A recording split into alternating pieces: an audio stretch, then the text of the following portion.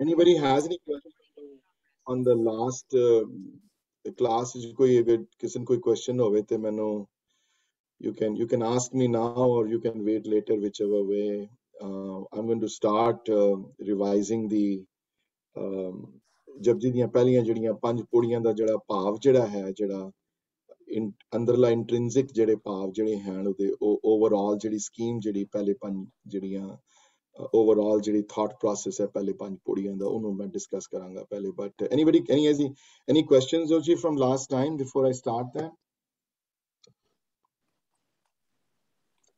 So, okay, no questions at all. that's good. So, ਹਰ ਇੱਕ ਧਰਮ ਵਿੱਚ ਹਰ ਇੱਕ ਰਿਲੀਜਨ ਵਿੱਚ ਹਰ ਇੱਕ ਜਥੇਬੰਦੀ ਵਿੱਚ ਹਰ ਇੱਕ ਕੌਮ ਵਿੱਚ ਪ੍ਰਮਾਤਮਾ ਤੱਕ ਪਹੁੰਚਣ ਦੇ ਅਲੱਗ-ਅਲੱਗ ਰਸਤੇ ਲੋਕਾਂ ਨੇ ਅਪਣਾਏ ਹਨ ਰਾਈਟ ਰੋਂਗ ਨਹੀਂ ਹੈ ਇੱਥੇ ਕੋਈ। ਯੂ نو ਇੱਥੇ ਆਪਣੇ ਆਪਣੇ ਰਸਤੇ ਹਨ, ਜਿਨ੍ਹਾਂ ਨੇ ਚੂਜ਼ ਕੀਤੇ ਹਨ, ਖੁਦ ਰਸਤੇ ਉਹਨਾਂ ਨੇ। ਤੇ ਉਹਨਾਂ ਦੇ ਆਗੂਆਂ ਨੇ, ਉਹਨਾਂ ਦੇ ਲੀਡਰਸ ਨੇ ਉਹ ਰਸਤੇ ਚੂਜ਼ ਕੀਤੇ ਹਨ। ਸੋ ਯੋਗੀਆਂ ਦਾ ਰਸਤਾ ਅਲੱਗ ਹੈ, ਉਹ ਯੋਗ ਦਾ ਮਾਰਗ ਹੈ। ਯੂ نو ਕਾਰੋਬਾਰ ਛੋੜਨ ਦਾ ਮਾਰਗ ਹੈ। ਸਨਾਤਨੀਆਂ ਦਾ ਰਸਤਾ ਅਲੱਗ ਹੈ। ਯੂ نو ਉਹ ਮੂਰਤੀ ਪੂਜਾ ਵਿੱਚ ਬਲੀਵ ਕਰਦੇ ਹਨ ਮਲਟੀਪਲੀਸਿਟੀ ਆਫ ਗॉड्स ਵਿੱਚ ਬਲੀਵ ਕਰਦੇ ਹਨ। ਯੂ نو ਤੀਰਥਾਂ ਤੇ ਜਾਣਾ ਉਹਨਾਂ ਵਾਸਤੇ ਬਹੁਤ ਇੰਪੋਰਟੈਂਟ ਹੈ ਗਲਤ ਨਹੀਂ ਹੈ ਉਹ ਠੀਕ ਹੈ ਉਹਨਾਂ ਵਾਸਤੇ ਉਹਨਾਂ ਵਾਸਤੇ ਉਹ ਜੋ ਕਰ ਰਹੇ ਨੇ ਉਹ ਉਹਨਾਂ ਉਹਨਾਂ ਦੇ ਮੁਤਾਬਿਕ ਉਹ ਠੀਕ ਹੈ ਸਾਰਾ ਉਸੇ ਤਰ੍ਹਾਂ ਇਸਲਾਮ ਦੇ ਅਲੱਗ ਰੂਲਸ ਹਨ ਯੂ نو ਉਹਨਾਂ ਉਹਨਾਂ ਦੀਆਂ ਅਲੱਗ ਉਹਨਾਂ ਦੀਆਂ ਅਲੱਗ ਇੱਕ ਹੈ ਪ੍ਰਮਾਤਮਾ ਤੱਕ ਪਹੁੰਚਣ ਦੇ ਤਰੀਕਾ ਹਜ ਉਹਨਾਂ ਵਾਸਤੇ ਇੰਪੋਰਟੈਂਟ ਹੈ ਜ਼ਕਾਤ ਇੰਪੋਰਟੈਂਟ ਹੈ ਨਮਾਜ਼ਾਂ ਪੜ੍ਹਨੀਆਂ ਇੰਪੋਰਟੈਂਟ ਹਨ ਪ੍ਰਮਾਤਮਾ ਨੂੰ ਯਾਦ ਕਰਨਾ ਇੰਪੋਰਟੈਂਟ ਹੈ ਉਸੇ ਤਰ੍ਹਾਂ ਕ੍ਰਿਸਚੀਅਨਿਟੀ ਦੇ ਆਪਣੇ ਰੂਲਸ ਹਨ, ਆਪਣੇ ਆਪਣੇ ਤਰੀਕੇ ਹਨ। ਤੇ ਗੁਰਮਤ ਵਿੱਚ ਸਿੱਖੀਜ਼ਮ ਵਿੱਚ ਗੁਰੂ ਨਾਨਕ ਦੇਵ ਜੀ ਦੀ ਫਿਲਾਸਫੀ ਜਿਹੜੀ ਹੈ, ਇਹਨਾਂ ਤੋਂ ਹਟ ਕੇ ਉਹਨਾਂ ਨੇ ਕੀਤੀ ਆਪਣੀ। ਸੂਫੀਜ਼ਮ ਦੇ ਨਾਲ ਜ਼ਿਆਦਾ ਜ਼ਿਆਦਾ ਮਿਲਦੀ ਹੈ ਜਨ any other religion that I can think about ਉਹ ਹੈ, ਇਹ ਰਸਤਾ ਜਿਹੜਾ ਹੈ ਇਹ ਪ੍ਰੇਮ ਮਾਰਗ ਹੈ। ਇਹ ਪ੍ਰੇਮਾ ਭਗਤੀ ਦਾ ਮਾਰਗ ਹੈ। ਇਸ ਨੂੰ ਨਾਮ ਮਾਰਗ ਵੀ ਕਹਿੰਦੇ ਹਨ। ਨਾਮ ਦਾ ਰਸਤਾ ਹੈ ਹੈ ਨਾ। ਇੱਥੇ ਇੱਥੇ ਪ੍ਰਮਾਤਮਾ ਨਾਲ ਪਿਆਰ ਉਪਜੇ, ਤੁਹਾਡਾ ਪ੍ਰਮਾਤਮਾ ਨਾਲ ਪਿਆਰ ਬਣੇ, ਤੁਹਾਡੀ ਬਣ ਆਵੇ ਉਹਨਾਂ ਨਾਲ, ਉਹ ਕੀ ਬੰਦਾ ਕਰੇ ਜੋ ਤੁਹਾਡਾ, ਤੁਸੀਂ ਨੋਟਿਸ ਹੋ ਜਾਵੋ ਉਹਨਾਂ ਦੀ ਨਜ਼ਰਾਂ ਵਿੱਚ, ਪਰ ਉਹ ਕੀ ਕਰੇ ਬੰਦਾ ਕਿ ਉਹਨਾਂ ਦੀ ਤੁਹਾਡੇ ਨਾਲ ਪਿਆਰ ਹੋ ਜਾਏ ਤੁਹਾਡਾ। ਤੇ ਇਹ ਪਿਆਰ ਦਾ ਜਿਹੜਾ ਮਾਰਗ ਹੈ, ਜਿਹੜਾ ਪ੍ਰੇਮਾ ਭਗਤੀ ਦਾ ਮਾਰਗ ਹੈ, ਉਹ ਸਿੱਖੀ ਦਾ ਮਾਰਗ ਹੈ। ਤੇ ਜਪਜੀ ਦੀ ਰੋਸ਼ਨੀ ਵੀ ਪ੍ਰੇਮ ਦੇ ਵਿੱਚ ਹੈ। ਸਾਰੇ ਦੀ ਸਾਰੀ ਜਪਨੀ, ਜਪਜੀ ਦੀ ਸਾਰੀ ਥਾਟ ਪ੍ਰੋਸੈਸ ਪ੍ਰੇਮਾ ਭਗਤੀ ਦੇ ਮਾਰਗ ਤੇ ਆਧਾਰਿਤ ਹੈ ਸਾਰੀ। ਸੋ ਸਾਰੀਆਂ ਪੌੜੀਆਂ ਜਿਹੜੀਆਂ ਹਨ ਜਪਜੀ ਦੀਆਂ ਉਹ ਮੇਨਲੀ ਜਿਹੜੀਆਂ ਡੀਲ ਜਿਹੜੀਆਂ ਕਰਦੀਆਂ ਹਨ ਜਿਹੜੀਆਂ ਸਾਰੀਆਂ ਉਹ ਪ੍ਰੇਮਾ ਭਗਤੀ ਨੂੰ ਅਪਣਾਉਣ ਦਾ ਅਗਰ ਆਪਣੇ ਆਪ ਤੁਸੀਂ ਮਿਊਟ ਕਰ ਲਓ। ਜਾਂ ਆਪਣੇ ਆਪ whoever so joins can if, if they are requested to mute ਤਾਂ ਫਿਰ ਮੇਰਾ ਥਾਟ ਪ੍ਰੋਸੈਸ ਡਿਸਟਰਬ ਨਹੀਂ ਹੁੰਦਾ। ਸੋ ਉਸੇ ਤਰ੍ਹਾਂ ਜਪਜੀ ਵਿੱਚ ਜਿਹੜੀਆਂ, ਜਿੰਨੀਆਂ ਪੌੜੀਆਂ ਜਿਹੜੀਆਂ ਆਈਆਂ ਹਨ ਜਿਹੜੀਆਂ, ਉਹ ਪੌੜੀਆਂ ਦੇ ਵਿੱਚ ਇੱਕ ਰੋਡ ਮੈਪ ਜਿਹਾ ਬਣਾ ਕੇ ਦੱਸਿਆ ਨੇ ਸਾਨੂੰ ਕਿ ਉਸ ਪ੍ਰਮਾਤਮਾ ਤੱਕ ਕਿਵੇਂ ਪਹੁੰਚਿਆ ਜਾਏ, ਕਿਵੇਂ ਤੁਸੀਂ ਪ੍ਰੇਮਾ ਭਗਤੀ ਤੇ ਰਾਏ ਉਸ ਪ੍ਰਮਾਤਮਾ ਤੱਕ ਪਹੁੰਚ ਸਕਦੇ ਹੋ। ਸੋ ਉਹ ਉਸ ਚੀਜ਼ ਨੂੰ ਬੜੇ ਪਿਆਰ, ਸਤਿਕਾਰ ਦੇ ਨਾਲ ਉਹਨਾਂ ਨੇ ਦੱਸਿਆ ਵੀ ਕਿਹੜੀਆਂ ਚੀਜ਼ਾਂ ਕੰਮ ਆਉਂਦੀਆਂ ਹਨ, ਕਿਹੜੀਆਂ ਚੀਜ਼ਾਂ ਇੰਪੋਰਟੈਂਟ ਹਨ, ਕਿਹੜੀਆਂ ਚੀਜ਼ਾਂ ਜਿਹੜੀਆਂ ਤੁਸੀਂ ਛੋੜੀਆਂ ਹਨ ਤੁਹਾਡੀਆਂ, ਕਿਹੜੇ ਸਟੈਪਸ ਹਨ ਜਿਹੜੇ।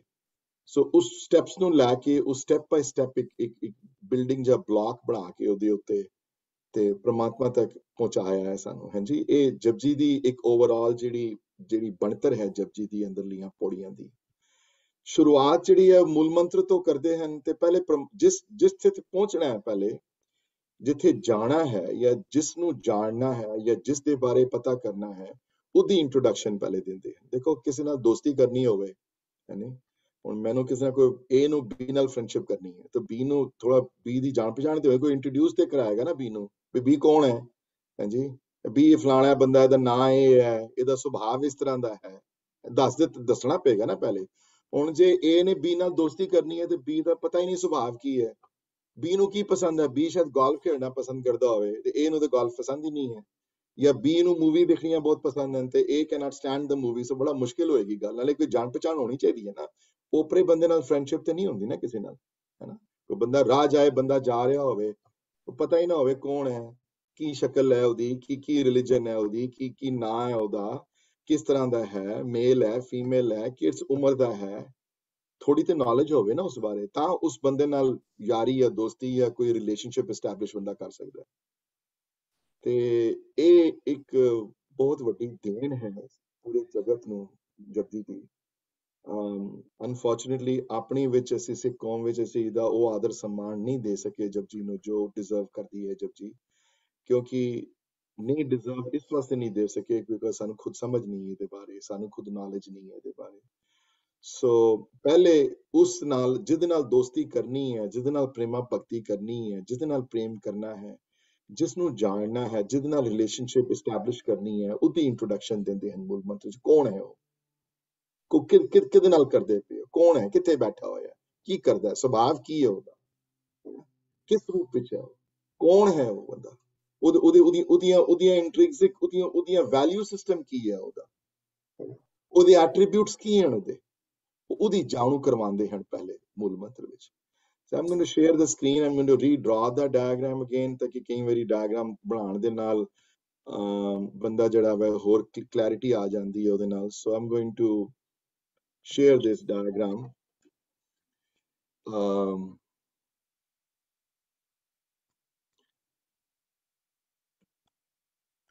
ਤੇ ਮੈਂ ਬਣਾਵਾਂਗਾ ਇੱਥੇ ਕੋਈ ਤੇ ਮੈਨੂੰ ਦੱਸ ਦੇਣਾ ਕਿ ਇਹ ਤੁਹਾਨੂੰ ਨਜ਼ਰ ਆ ਰਿਹਾ ਕਿ ਨਹੀਂ ਆ ਰਿਹਾ। ਤਾਂ ਸ਼ੁਰੂਆਤ ਜਿਹੜੀ ਹੈ ਉਹ ਇੱਕ ਓੰਕਾਰ ਤੋਂ ਸ਼ੁਰੂ ਕਰਦੇ ਹਨ।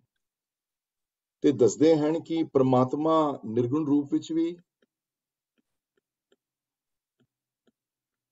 ਤੇ ਸਰਗੁਣ ਰੂਪ ਵਿੱਚ ਉਹ ਇੱਕੋ ਹੀ ਹੈ। ਹਾਂਜੀ ਨਜ਼ਰ ਆ ਰਿਹਾ ਨਾ ਮੈਂ ਜੋ ਲਿਖ ਰਿਹਾ। ਜਸਟ ਐਨੀਬਾਡੀ ਕੈਨ ਜੀ ਵੀਰ ਜੀ ਨਜ਼ਰ ਆ ਰਿਹਾ।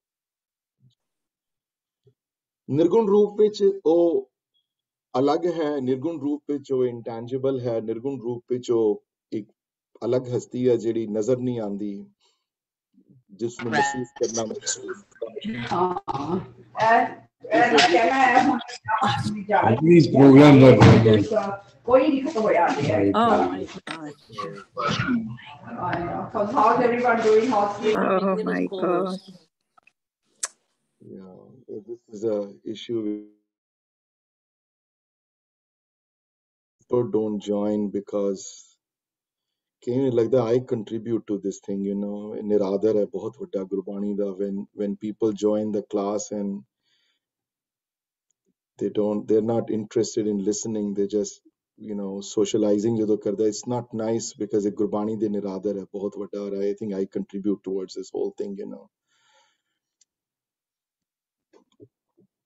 ਨਿਰਗੁਣ ਸਰਗੁਣ ਦੇ ਨਿਰਗੁਣ ਸਰਗੁਣ ਦੀ ਜਿਹੜੀ ਡੈਫੀਨੇਸ਼ਨ ਜਿਹੜੀ ਹੈ ਗੁਰਬਾਣੀ ਵਿੱਚ ਇਹ ਹੈ ਕਿ ਨਿਰਗੁਣ ਰੂਪ ਵਿੱਚ ਉਹ ਅਲੱਗ ਹੈ ਸਭ ਤੋਂ ਦੂਰ ਹੈ ਪਛਾਣਨਾ ਮੁਸ਼ਕਿਲ ਹੈ ਉਸ ਨੂੰ ਤੁਹਾਡੇ ਅੰਦਰ ਹੈ ਬਾਹਰ ਹੈ ਲੇਕਿਨ ਨਜ਼ਰ ਨਹੀਂ ਆਉਂਦਾ ਸਰਗੁਣ ਰੂਪ ਐਗਜ਼ੈਕਟਲੀ ਆਪੋਜ਼ਿਟ ਹੈ ਉਸ ਦਾ ਜਿਹੜਾ ਨਜ਼ਰ ਆਉਂਦਾ ਹੈ ਜਿਸ ਨੂੰ ਛੂ ਸਕਦੇ ਹੋ ਜਿਸ ਨੂੰ ਮਹਿਸੂਸ ਕਰ ਸਕਦੇ ਹੋ। ਸੋ ਫੁੱਲ ਜਿਹੜੀ ਹੈ, ਸਮਝ ਲਓ ਕਿ ਫੁੱਲਾਂ ਦੀ, ਫੁੱਲ ਜਿਹੜੇ ਹਨ ਸਰਗੁਣ ਰੂਪ ਵਿੱਚ ਹਨ ਮੈਂ ਔਰ ਤੁਸੀਂ ਸਰਗੁਣ ਰੂਪ ਵਿੱਚ ਹਾਂ। ਜਿਤਨੇ ਜਾਨਵਰ ਨਜ਼ਰ ਆਉਂਦੇ ਹਨ, ਉਹ ਸਾਰੇ ਸਰਗੁਣ ਰੂਪ ਵਿੱਚ ਹਨ ਆਕਾਸ਼, ਪਤਾਲ, ਸੂਰਜ, ਚੰਦ, ਅਸਮਾਨ, ਸਮੁੰਦਰ, ਨਦੀਆਂ ਇਹ ਉਹਦੀ ਕੁਦਰਤ ਜਿਹੜੀ ਹੈ ਉਹ ਸਰਗੁਣ ਰੂਪ ਵਿੱਚ ਹੈ ਸਾਰੀ ਤੇ ਇਹ ਦੱਸਿਆ ਨੇ ਕਿ ਉਹ ਆਪ ਨਿਰਗੁਣ ਰੂਪ ਤੇ ਸਰਗੁਣ ਰੂਪ ਦੋਨਾਂ 'ਚ ਬੈਠਾ ਹੋਇਆ ਹੈ। ਸੋ ਹਰ ਇੱਕ ਵਿੱਚ ਉਹ ਬੈਠਾ ਹੋਇਆ, ਉਹਦੀ ਆਤਮਾ ਹੋਣ ਕਰਕੇ ਦੋਨੋਂ ਰੂਪ ਵਿੱਚ ਪ੍ਰਵਾਨ ਹੋਏ ਹਨ। ਇੱਕ ਓੰਕਾਰ ਜਿਹੜਾ ਹੈ ਵਰਡ ਜਿਹੜਾ ਹੈ ਉਹ ਨਿਰਗੁਣ ਰੂਪ ਨਾਲ ਜ਼ਿਆਦਾ ਸੰਬੰਧਿਤ ਹੈ ਕਿਉਂਕਿ ਉਹਦੇ ਵਿੱਚ ਅਵੇਕਲਾਪਨ ਹੈ ਕਲਾ ਹੈ, ਉਹਦੇ ਵਰਗਾ ਹੋਰ ਕੋਈ ਨਹੀਂ। ਇੱਕ ਯੂਨੀਕਨੈਸ ਹੈ ਇੱਕ ਵਿੱਚ, ਬਸ ਇੱਕੋ ਹੀ ਇੱਕ ਹੈ, ਹੋਰ ਕੋਈ ਨਹੀਂ, ਹੋਰ। ਜਿਹੜਾ ਨਜ਼ਰ ਨਹੀਂ ਆਉਂਦਾ, ਜਿਹੜਾ ਜਿਹੜਾ ਮਹਿਸੂਸ ਕੀਤਾ ਜਾ ਸਕਦਾ ਹੈ ਜਿਹੜੇ ਦੂਰ ਹੈ ਤੁਹਾਡੇ ਤੋਂ ਜਾਂ ਤੁਹਾਡੇ ਅੰਦਰ ਹੈ। ਤੇ ਇੱਕ ਉਸੇ, ਇੱਕ ਤੋਂ ਫਿਰ ਜਦੋਂ ਜਦੋਂ ਕ੍ਰੀਏਸ਼ਨ ਜਦੋਂ ਸ਼ੁਰੂ ਹੋਈ ਇੱਕ ਓੰਕਾਰ ਵਾਲੇ ਤੋਂ, ਤੇ ਫਿਰ ਉਸਨੇ ਆਪਣੇ ਆਪ ਨੂੰ ਸਰਗੁਣ ਰੂਪ ਵਿੱਚ ਧਾਰਿਆ। ਤੇ ਸਰਗੁਣ ਰੂਪ ਵਿੱਚ ਧਾਰਿਆ ਤੇ ਇਹ ਹੋਇਆ, ਇਹ ਇਹ ਇਹ ਇਹ ਪੋਸੀਬਲ ਹੋਇਆ ਕਿਉਂਕਿ ਉਹਨਾਂ ਨੇ ਨਾਮ ਦੀ એનર્ਜੀ ਬਣਾਈ। ਨਾਮ ਦੀ ਜਿਹੜੀ એનર્ਜੀ ਜਿਹੜੀ ਹੈ ਉਹ ਦੋਨੋਂ ਰੂਪ ਵਿੱਚ ਆ ਕੇ ਮਿਲਦੀ ਹੈ ਤੇ ਸਰਗੁਣ ਰੂਪ ਵਿੱਚ ਤੇ ਨਿਰਗੁਣ ਰੂਪ ਵਿੱਚ ਦੋਨਾਂ ਵਿੱਚ ਨਾਮ ਵਿਚਰਦਾ ਹੈ। ਨਾਮ ਉਸ ਦੀ ਸ਼ਕਤੀ ਹੈ, ਨਾਮ ਉਸ ਦੀ ਤਾਕਤ ਹੈ, ਜਿਨ੍ਹਾਂ ਤਾਕਤ ਨਾਲ ਅੱਖਾਂ ਦੇਖਦੀਆਂ ਹਨ, ਜਿਸ ਤਾਕਤ ਨਾਲ ਸੂਰਜ ਚੜ੍ਹਦਾ ਹੈ ਤੇ ਸੂਰਜ ਗਰਮੀ ਹੈ, ਜਿਸ ਤਾਕਤ ਨਾਲ ਜੀ ਦੀ ਉਤਪਤੀ ਹੁੰਦੀ ਹੈ ਬਰਥ ਹੁੰਦਾ ਹੈ ਜੀ ਦਾ, ਜਿਸ ਤਾਕਤ ਨਾਲ ਜੀ ਦੀ ਪ੍ਰਤਪਾਲਨਾ ਹੁੰਦੀ ਹੈ, ਜਿਸ ਤਾਕਤ ਦੇ ਨਾਲ ਜੀ ਮਰ ਜਾਂਦਾ ਹੈ, ਫਿਰ ਮਰ ਕੇ ਫਿਰ ਜੀ ਪੈਂਦਾ ਹੈ। ਇਹ ਜੋ ਸਾਰੇ ਕੁਦਰਤ ਵਿੱਚ ਜੋ ਹੋ ਰਿਹਾ ਹੈ, ਜੋ ਇਹ ਨਾਮ ਦੀ ਸ਼ਕਤੀ ਕਰਵਾਉਂਦੀ ਹੈ। ਤੇ ਇਹ ਨੌਲੇਜ ਦੇਣ ਤੋਂ ਬਾਅਦ ਕਿ ਨਿਰਗੁਣ ਸਰਗੁਣ ਵਿੱਚ ਉਹ ਆਪ ਹੈ, ਨਾਮਕਰਨ ਕਰਾਉਣ ਵਾਲਾ ਹੈ, ਨਾਮ ਉਸੇ ਤੋਂ ਬਣਿਆ ਹੈ, ਨਾਮ ਉਸ ਤੋਂ ਉਪਜਿਆ ਹੈ। ਉਹ ਆਪ ਨਾਮ ਦੇ ਨਾਲੋਂ ਅਲੱਗ ਨਹੀਂ ਹੈ ਤੇ ਇਹ ਸ਼ਕਤੀ ਦਾ ਰੂਪ ਨਾਮ ਵਾਲਾ ਰੂਪ, ਪਿਆਰ ਵਾਲਾ ਰੂਪ ਹੈ। ਇਹ ਪ੍ਰੇਮ ਹੈ, ਪ੍ਰੇਮ ਤੋਂ ਸਿਵਾਏ ਕੁਝ ਵੀ ਨਹੀਂ ਹੋ ਸੋ ਨਾਮ ਨੂੰ ਬੜੀ ਜਗ੍ਹਾ ਗੁਰਬਾਣੀ ਵਿੱਚ ਪ੍ਰੇਮ ਨਾਲ ਵੀ ਸੰਬੰਧਿਤ ਕੀਤਾ ਗਿਆ ਹੈ। ਤੇ ਆਪ ਹੋਣ ਕਰਕੇ ਤੇ ਫਿਰ ਉਸ ਤੋਂ ਬਾਅਦ ਸਮਝਾਇਆ ਨੇ ਕਿ ਨਾਮ ਜਿਹੜਾ ਵੈ ਨਿਰਾ ਨਾਮ ਹੀ ਨਹੀਂ ਹੈ, ਨਾਮ ਸਤ ਸਰੂਪ ਵੀ ਹੈ। ਤਾਂ ਸਤ ਕੀ ਹੈ ਜਿਹੜਾ ਹਮੇਸ਼ਾ ਕਦੀ ਬਦਲੇ ਨਾ ਜਿਹੜਾ ਜਿਹੜਾ ਇੱਕ ਸਰੂਪ ਵਿੱਚ ਰਹੇ ਜਿਹਦੇ ਵਿੱਚ ਕੋਈ ਬਦਲਾਵ ਨਾ ਹੋਵੇ ਦੇਖੋ, ਮੇਰੀ ਸ਼ਕਲ 'ਚ ਬਦਲਾਵ ਆ ਗਿਆ ਹੈ। ਜੋ ਮੇਰੀ ਸ਼ਕਲ 8 ਸਾਲ ਦੀ ਸੀ, ਉਹ 15 ਸਾਲ ਦੀ ਨਹੀਂ ਸੀ। ਜੋ 15 ਸਾਲ ਦੀ ਸੀ, ਉਹ 25 ਸਾਲ 'ਚ ਨਹੀਂ ਸੀ। ਜੋ 25 ਦਾ ਸੀ ਉਹ 40 ਦਾ ਨਹੀਂ ਸੀ ਜੋ 40 ਦਾ ਸੀ ਉਹ 50 ਦਾ ਨਹੀਂ ਸੀ। ਜਿਹੜਾ 50 ਦਾ ਨਹੀਂ ਸੀ ਉਹ ਮੇਰੇ ਵਰਗਾ 62 ਦੇ ਨਹੀਂ ਸਨ ਯੂ نو ਫ਼ਰਕ ਆ ਗਿਆ ਕਿਉਂਕਿ ਇਹ ਹੋਰ ਇੱਕ ਟਾਈਮ ਚਲੇ ਜਾਵਾਂਗੇ। ਮੈਂ ਵੀ ਚਲਾ ਜਾਣਾ ਹੈ ਸਭ ਨੇ ਜਾਣਾ ਹੈ ਇੱਕ ਦਿਨ ਇੱਥੋਂ। ਸੋ ਅਸੀਂ ਹਮੇਸ਼ਾ ਰਹਿਣ ਸੇ ਰਹਿਣ ਵਾਸਤੇ ਨਹੀਂ ਆਏ ਸਾਡੇ ਜੀਵਨ 'ਚ ਬਦਲਾਵ ਹੈ ਸਾਡੇ ਜੀਵਨ 'ਚ ਚੇਂਜ ਹੈ। ਸਤ ਉਹ ਹੁੰਦਾ ਹੈ somebody else is again uh, has their ਅਗਰ ਆਪਣੇ ਆਪ ਨੂੰ ਤੁਸੀਂ ਮਿਊਟ ਕਰ ਲਵੋ ਤਾਂ I would really appreciate it please ਤੇ ਸਤ ਦਾ ਰੂਪ ਦੱਸਿਆ ਨਹੀਂ ਡਾਇਰੈਕਟ ਉਹਦਾ ਰੂਪ ਹੈ ਸਤ ਦਾ, ਤਾਂ ਕਿ ਉਹਦੇ 'ਚ ਕੋਈ ਬਦਲਾਵ ਨਹੀਂ ਆਉਂਦਾ ਚੇਂजेस ਨਹੀਂ ਆਂਦੀਆਂ ਉਹ ਹਮੇਸ਼ਾ ਇੱਕ ਸਰੂਪ ਰਹਿੰਦਾ ਹੈ, ਉਹ ਇੱਕੋ ਜਿਹਾ ਹੈ।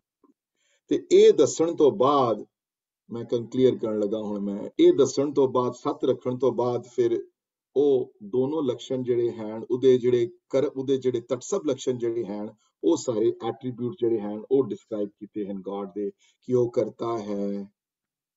ਉਹ ਪੁਰਖ ਹੈ। ਮੈਂ ਸਾਰੇ ਨਹੀਂ ਲਿਖਾਂਗਾ ਯੂ نو ਦੈਟ ਉਹ ਨਿਰਵੈਰ ਹੈ। ਉਹ ਨਿਰਭਉ ਹੈ। ਹਾਂਜੀ?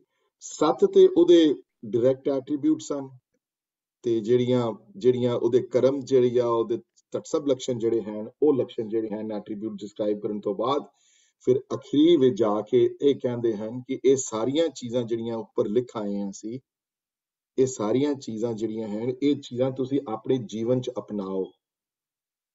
ਸਾਧਨ ਪੱਖ ਦੱਸਿਆ ਨਹੀਂ ਉਸ ਤੋਂ ਬਾਅਦ। ਇਹ ਅਸੀਂ, ਇਹ ਉੱਪਰਲੀਆਂ ਜਿਹੜੀਆਂ ਕੁਆਲਿਟੀਆਂ ਜਿਹੜੀਆਂ ਪ੍ਰਮਾਤਮਾ ਦੀਆਂ ਦੱਸੀਆਂ ਹਨ, ਇਹ ਸਿਰਫ ਦੱਸਣ ਵਾਸਤੇ ਨਹੀਂ ਹਨ। ਆਪਣੇ ਜੀਵਨ 'ਚ ਅਪਣਾਉਣ ਵਾਲੀਆਂ ਹਨ। ਆਪ ਨਿਰਭਉ ਬਣੋ, ਆਪ ਕਰਤਾ ਬਣੋ, ਆਪ ਨਿਰਵੈਰ ਬਣੋ। ਕਰ, ਆਪ ਕਰਤਾ ਇਸ ਵਾਸਤੇ ਬਣੋ ਕਿ ਕਰਤੇ ਵਿੱਚ ਮਿਲ ਜਾਓ। ਕਰਤੇ ਨਾਲ ਤੁਹਾਡਾ ਇੱਕਮਿਕ ਹੋ ਜਾਏ ਤੁਹਾਡਾ। ਆਪ ਪੁਰਖ ਇਸ ਵਾਸਤੇ ਬਣੋ ਕਿ ਸਰਗੁਣ ਰੂਪ ਪ੍ਰਮਾਤਮਾ ਦੇ ਨਾਲ ਤੁਹਾਡੀ ਰਿਲੇਸ਼ਨਸ਼ਿਪ ਐਸਟੈਬਲਿਸ਼ ਹੋਵੇ। ਇਹ ਸਮਝਾਉਣ ਤੋਂ ਬਾਅਦ ਇਹ ਦੱਸਿਆ ਨੇ ਵੀ ਇਹ ਸਾਰੀਆਂ ਚੀਜ਼ਾਂ ਗੁਰਪ੍ਰਸਾਦ ਤੋਂ ਹੁੰਦੀਆਂ ਹਨ। ਗੁਰੂ ਦੀ ਕਿਰਪਾ ਨਾਲ ਇਹ ਸਾਰੀਆਂ ਚੀਜ਼ਾਂ ਜਿਹੜੀਆਂ ਤੁਹਾਡੇ ਜੀਵਨ ਚ ਆਉਂਦੀਆਂ ਹਨ ਇੱਥੇ ਇਹ ਮੂਲ ਮੰਤਰ ਦਾ ਸਰੂਪ ਹੈ, ਜਿਸ ਸਰੂਪ ਨੂੰ ਗੱਦੀ ਦੇ ਆਰੰਭ ਵਿੱਚ ਜਿਹੜਾ ਇਸ ਮੂਲ ਮੰਤਰ ਨੂੰ ਜਿਹੜਾ ਹੈ ਇਸ ਕਲੈਰਿਟੀ ਦਿੱਤੀ ਨੇ। ਤੇ ਮੂਲ ਮੰਤਰ ਦੇ ਸਰੂਪ ਤੋਂ ਬਾਅਦ ਪ੍ਰਾ- ਪ੍ਰਮਾਤਮਾ ਦੇ ਉਹ ਰੂਪ ਡਿਫਾਈਨ ਕਰਨ ਤੋਂ ਬਾਅਦ ਜਪਜੀ ਦੀਆਂ ਪਹਿਲੀਆਂ ਪੰਜ ਪੌੜੀਆਂ ਦਾ ਸਾਰ ਜਿਹੜਾ ਹੈ ਉਹ ਮੈਂ ਇੱਥੇ ਲਿਖ ਦਿੰਦਾ ਵੈਸੇ ਸਮਝਾ ਤੇ ਪਹਿਲੀ ਵਾਰੀ ਚੁੱਕ, ਪਹਿਲੇ ਚੁੱਕਿਆ ਬਟ ਮੈਂ ਤਾਂ ਵੀ ਇੱਥੇ ਮੈਂ ਇੱਕ ਡਾਇਗਰਾਮ ਜੀ ਬਣਾ ਦੇਣਾ ਤੁਹਾਨੂੰ ਈਜ਼ੀ ਰਹੇਗਾ ਸਮਝਣ ਵਿੱਚ। ਤੇ ਪਹਿਲਾ ਜਿਹੜੀ ਪੌੜੀ ਪੌੜੀ ਜਿਹੜੀ ਹੈ, ਪਹਿਲੀ ਪੌੜੀ ਦੇ ਵਿੱਚ ਇਹ ਹੈ ਕਿ ਕਿ ਉਹ ਤੁਹਾਨੂੰ ਉਥੇ ਇਹ ਕਿ ਤੁਹਾਨੂੰ ਹੁਕਮ ਦੀ ਰਜ਼ਾ ਵਿੱਚ ਚੱਲਣ ਦਾ ਹੁਕਮ ਹੈ। ਹੁਕਮ ਰਜ਼ਾਈ ਚੱਲਣਾ ਇਹ ਹੈ ਕ੍ਰਿਟੀਕਲ ਸੰਦੇਸ਼ ਉੱਤੇ ਤੇ ਹੁਕਮ ਦੀ ਰਜ਼ਾ ਵਿੱਚ ਕਿਵੇਂ ਚੱਲਣਾ ਹੈ? ਹੁਕਮ ਦੀ ਰਜ਼ਾ ਵਿੱਚ ਚੱਲਣਾ ਹੈ ਕਿ ਉਹਦੀ ਮਰਜ਼ੀ ਨੂੰ ਜਾਣਨਾ ਹੈ ਤੁਸੀਂ? ਉਹਦੀ ਮਰਜ਼ੀ ਨੂੰ ਪਹਿਚਾਨਣਾ ਹੈ? ਉਹ ਕੀ ਚਾਹੁੰਦਾ ਹੈ ਤੁਹਾਡੇ ਕੋਲੋਂ? ਤੇ ਉਸ ਮਰਜ਼ੀ ਨੂੰ ਜਾਣ ਕੇ ਆਪਣੀ ਮਰਜ਼ੀ ਉਹਦੇ ਵਿੱਚ ਮਿਲਾਣੀ ਹੈ, ਹਾਂਜੀ?